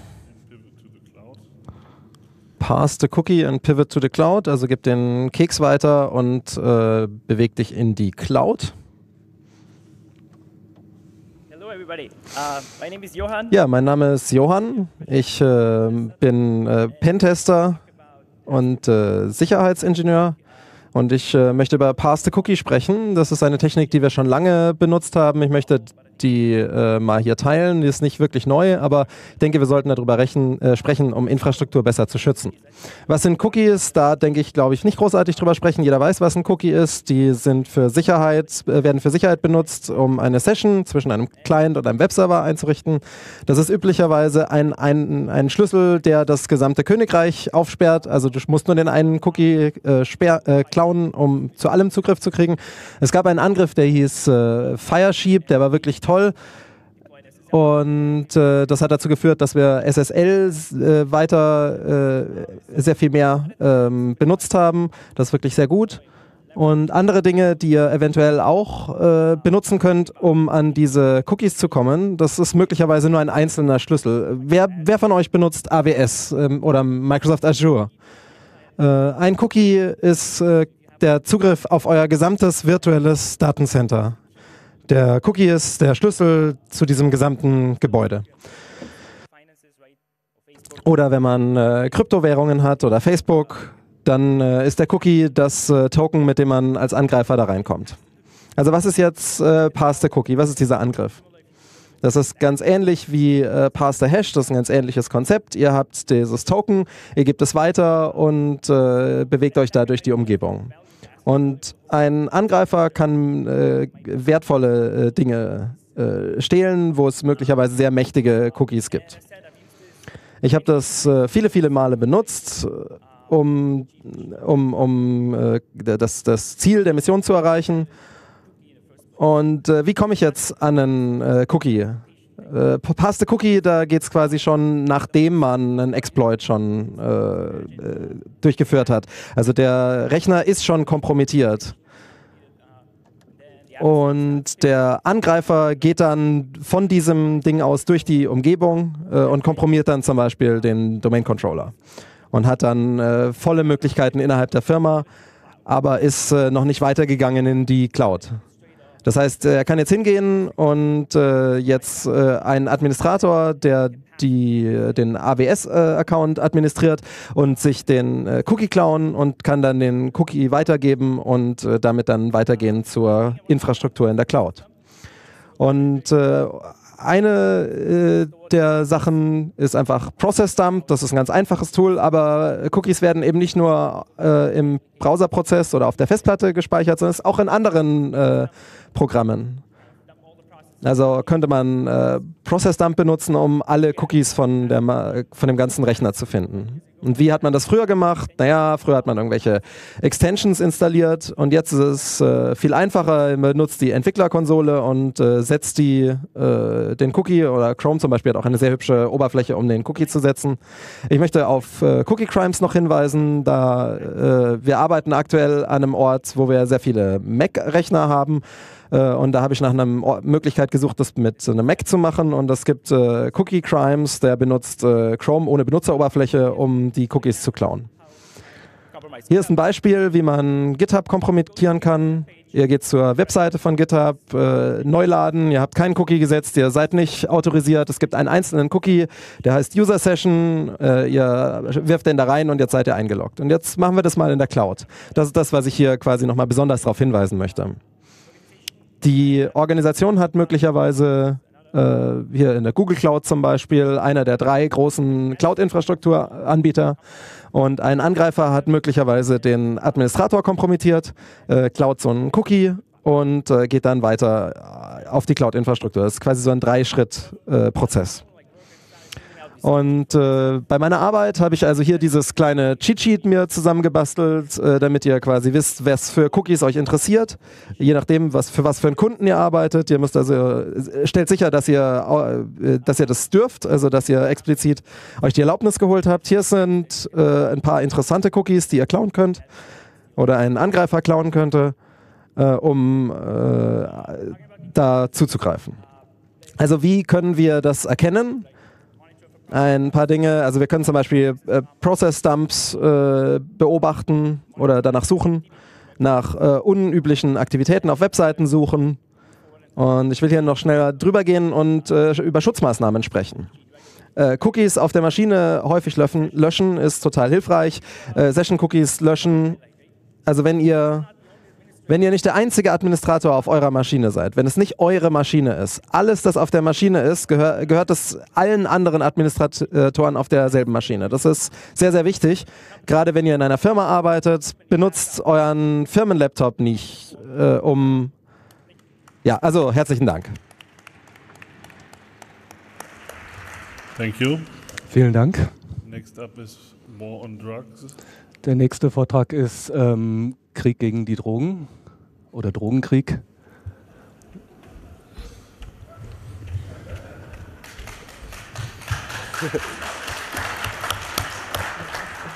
um, uh, hello.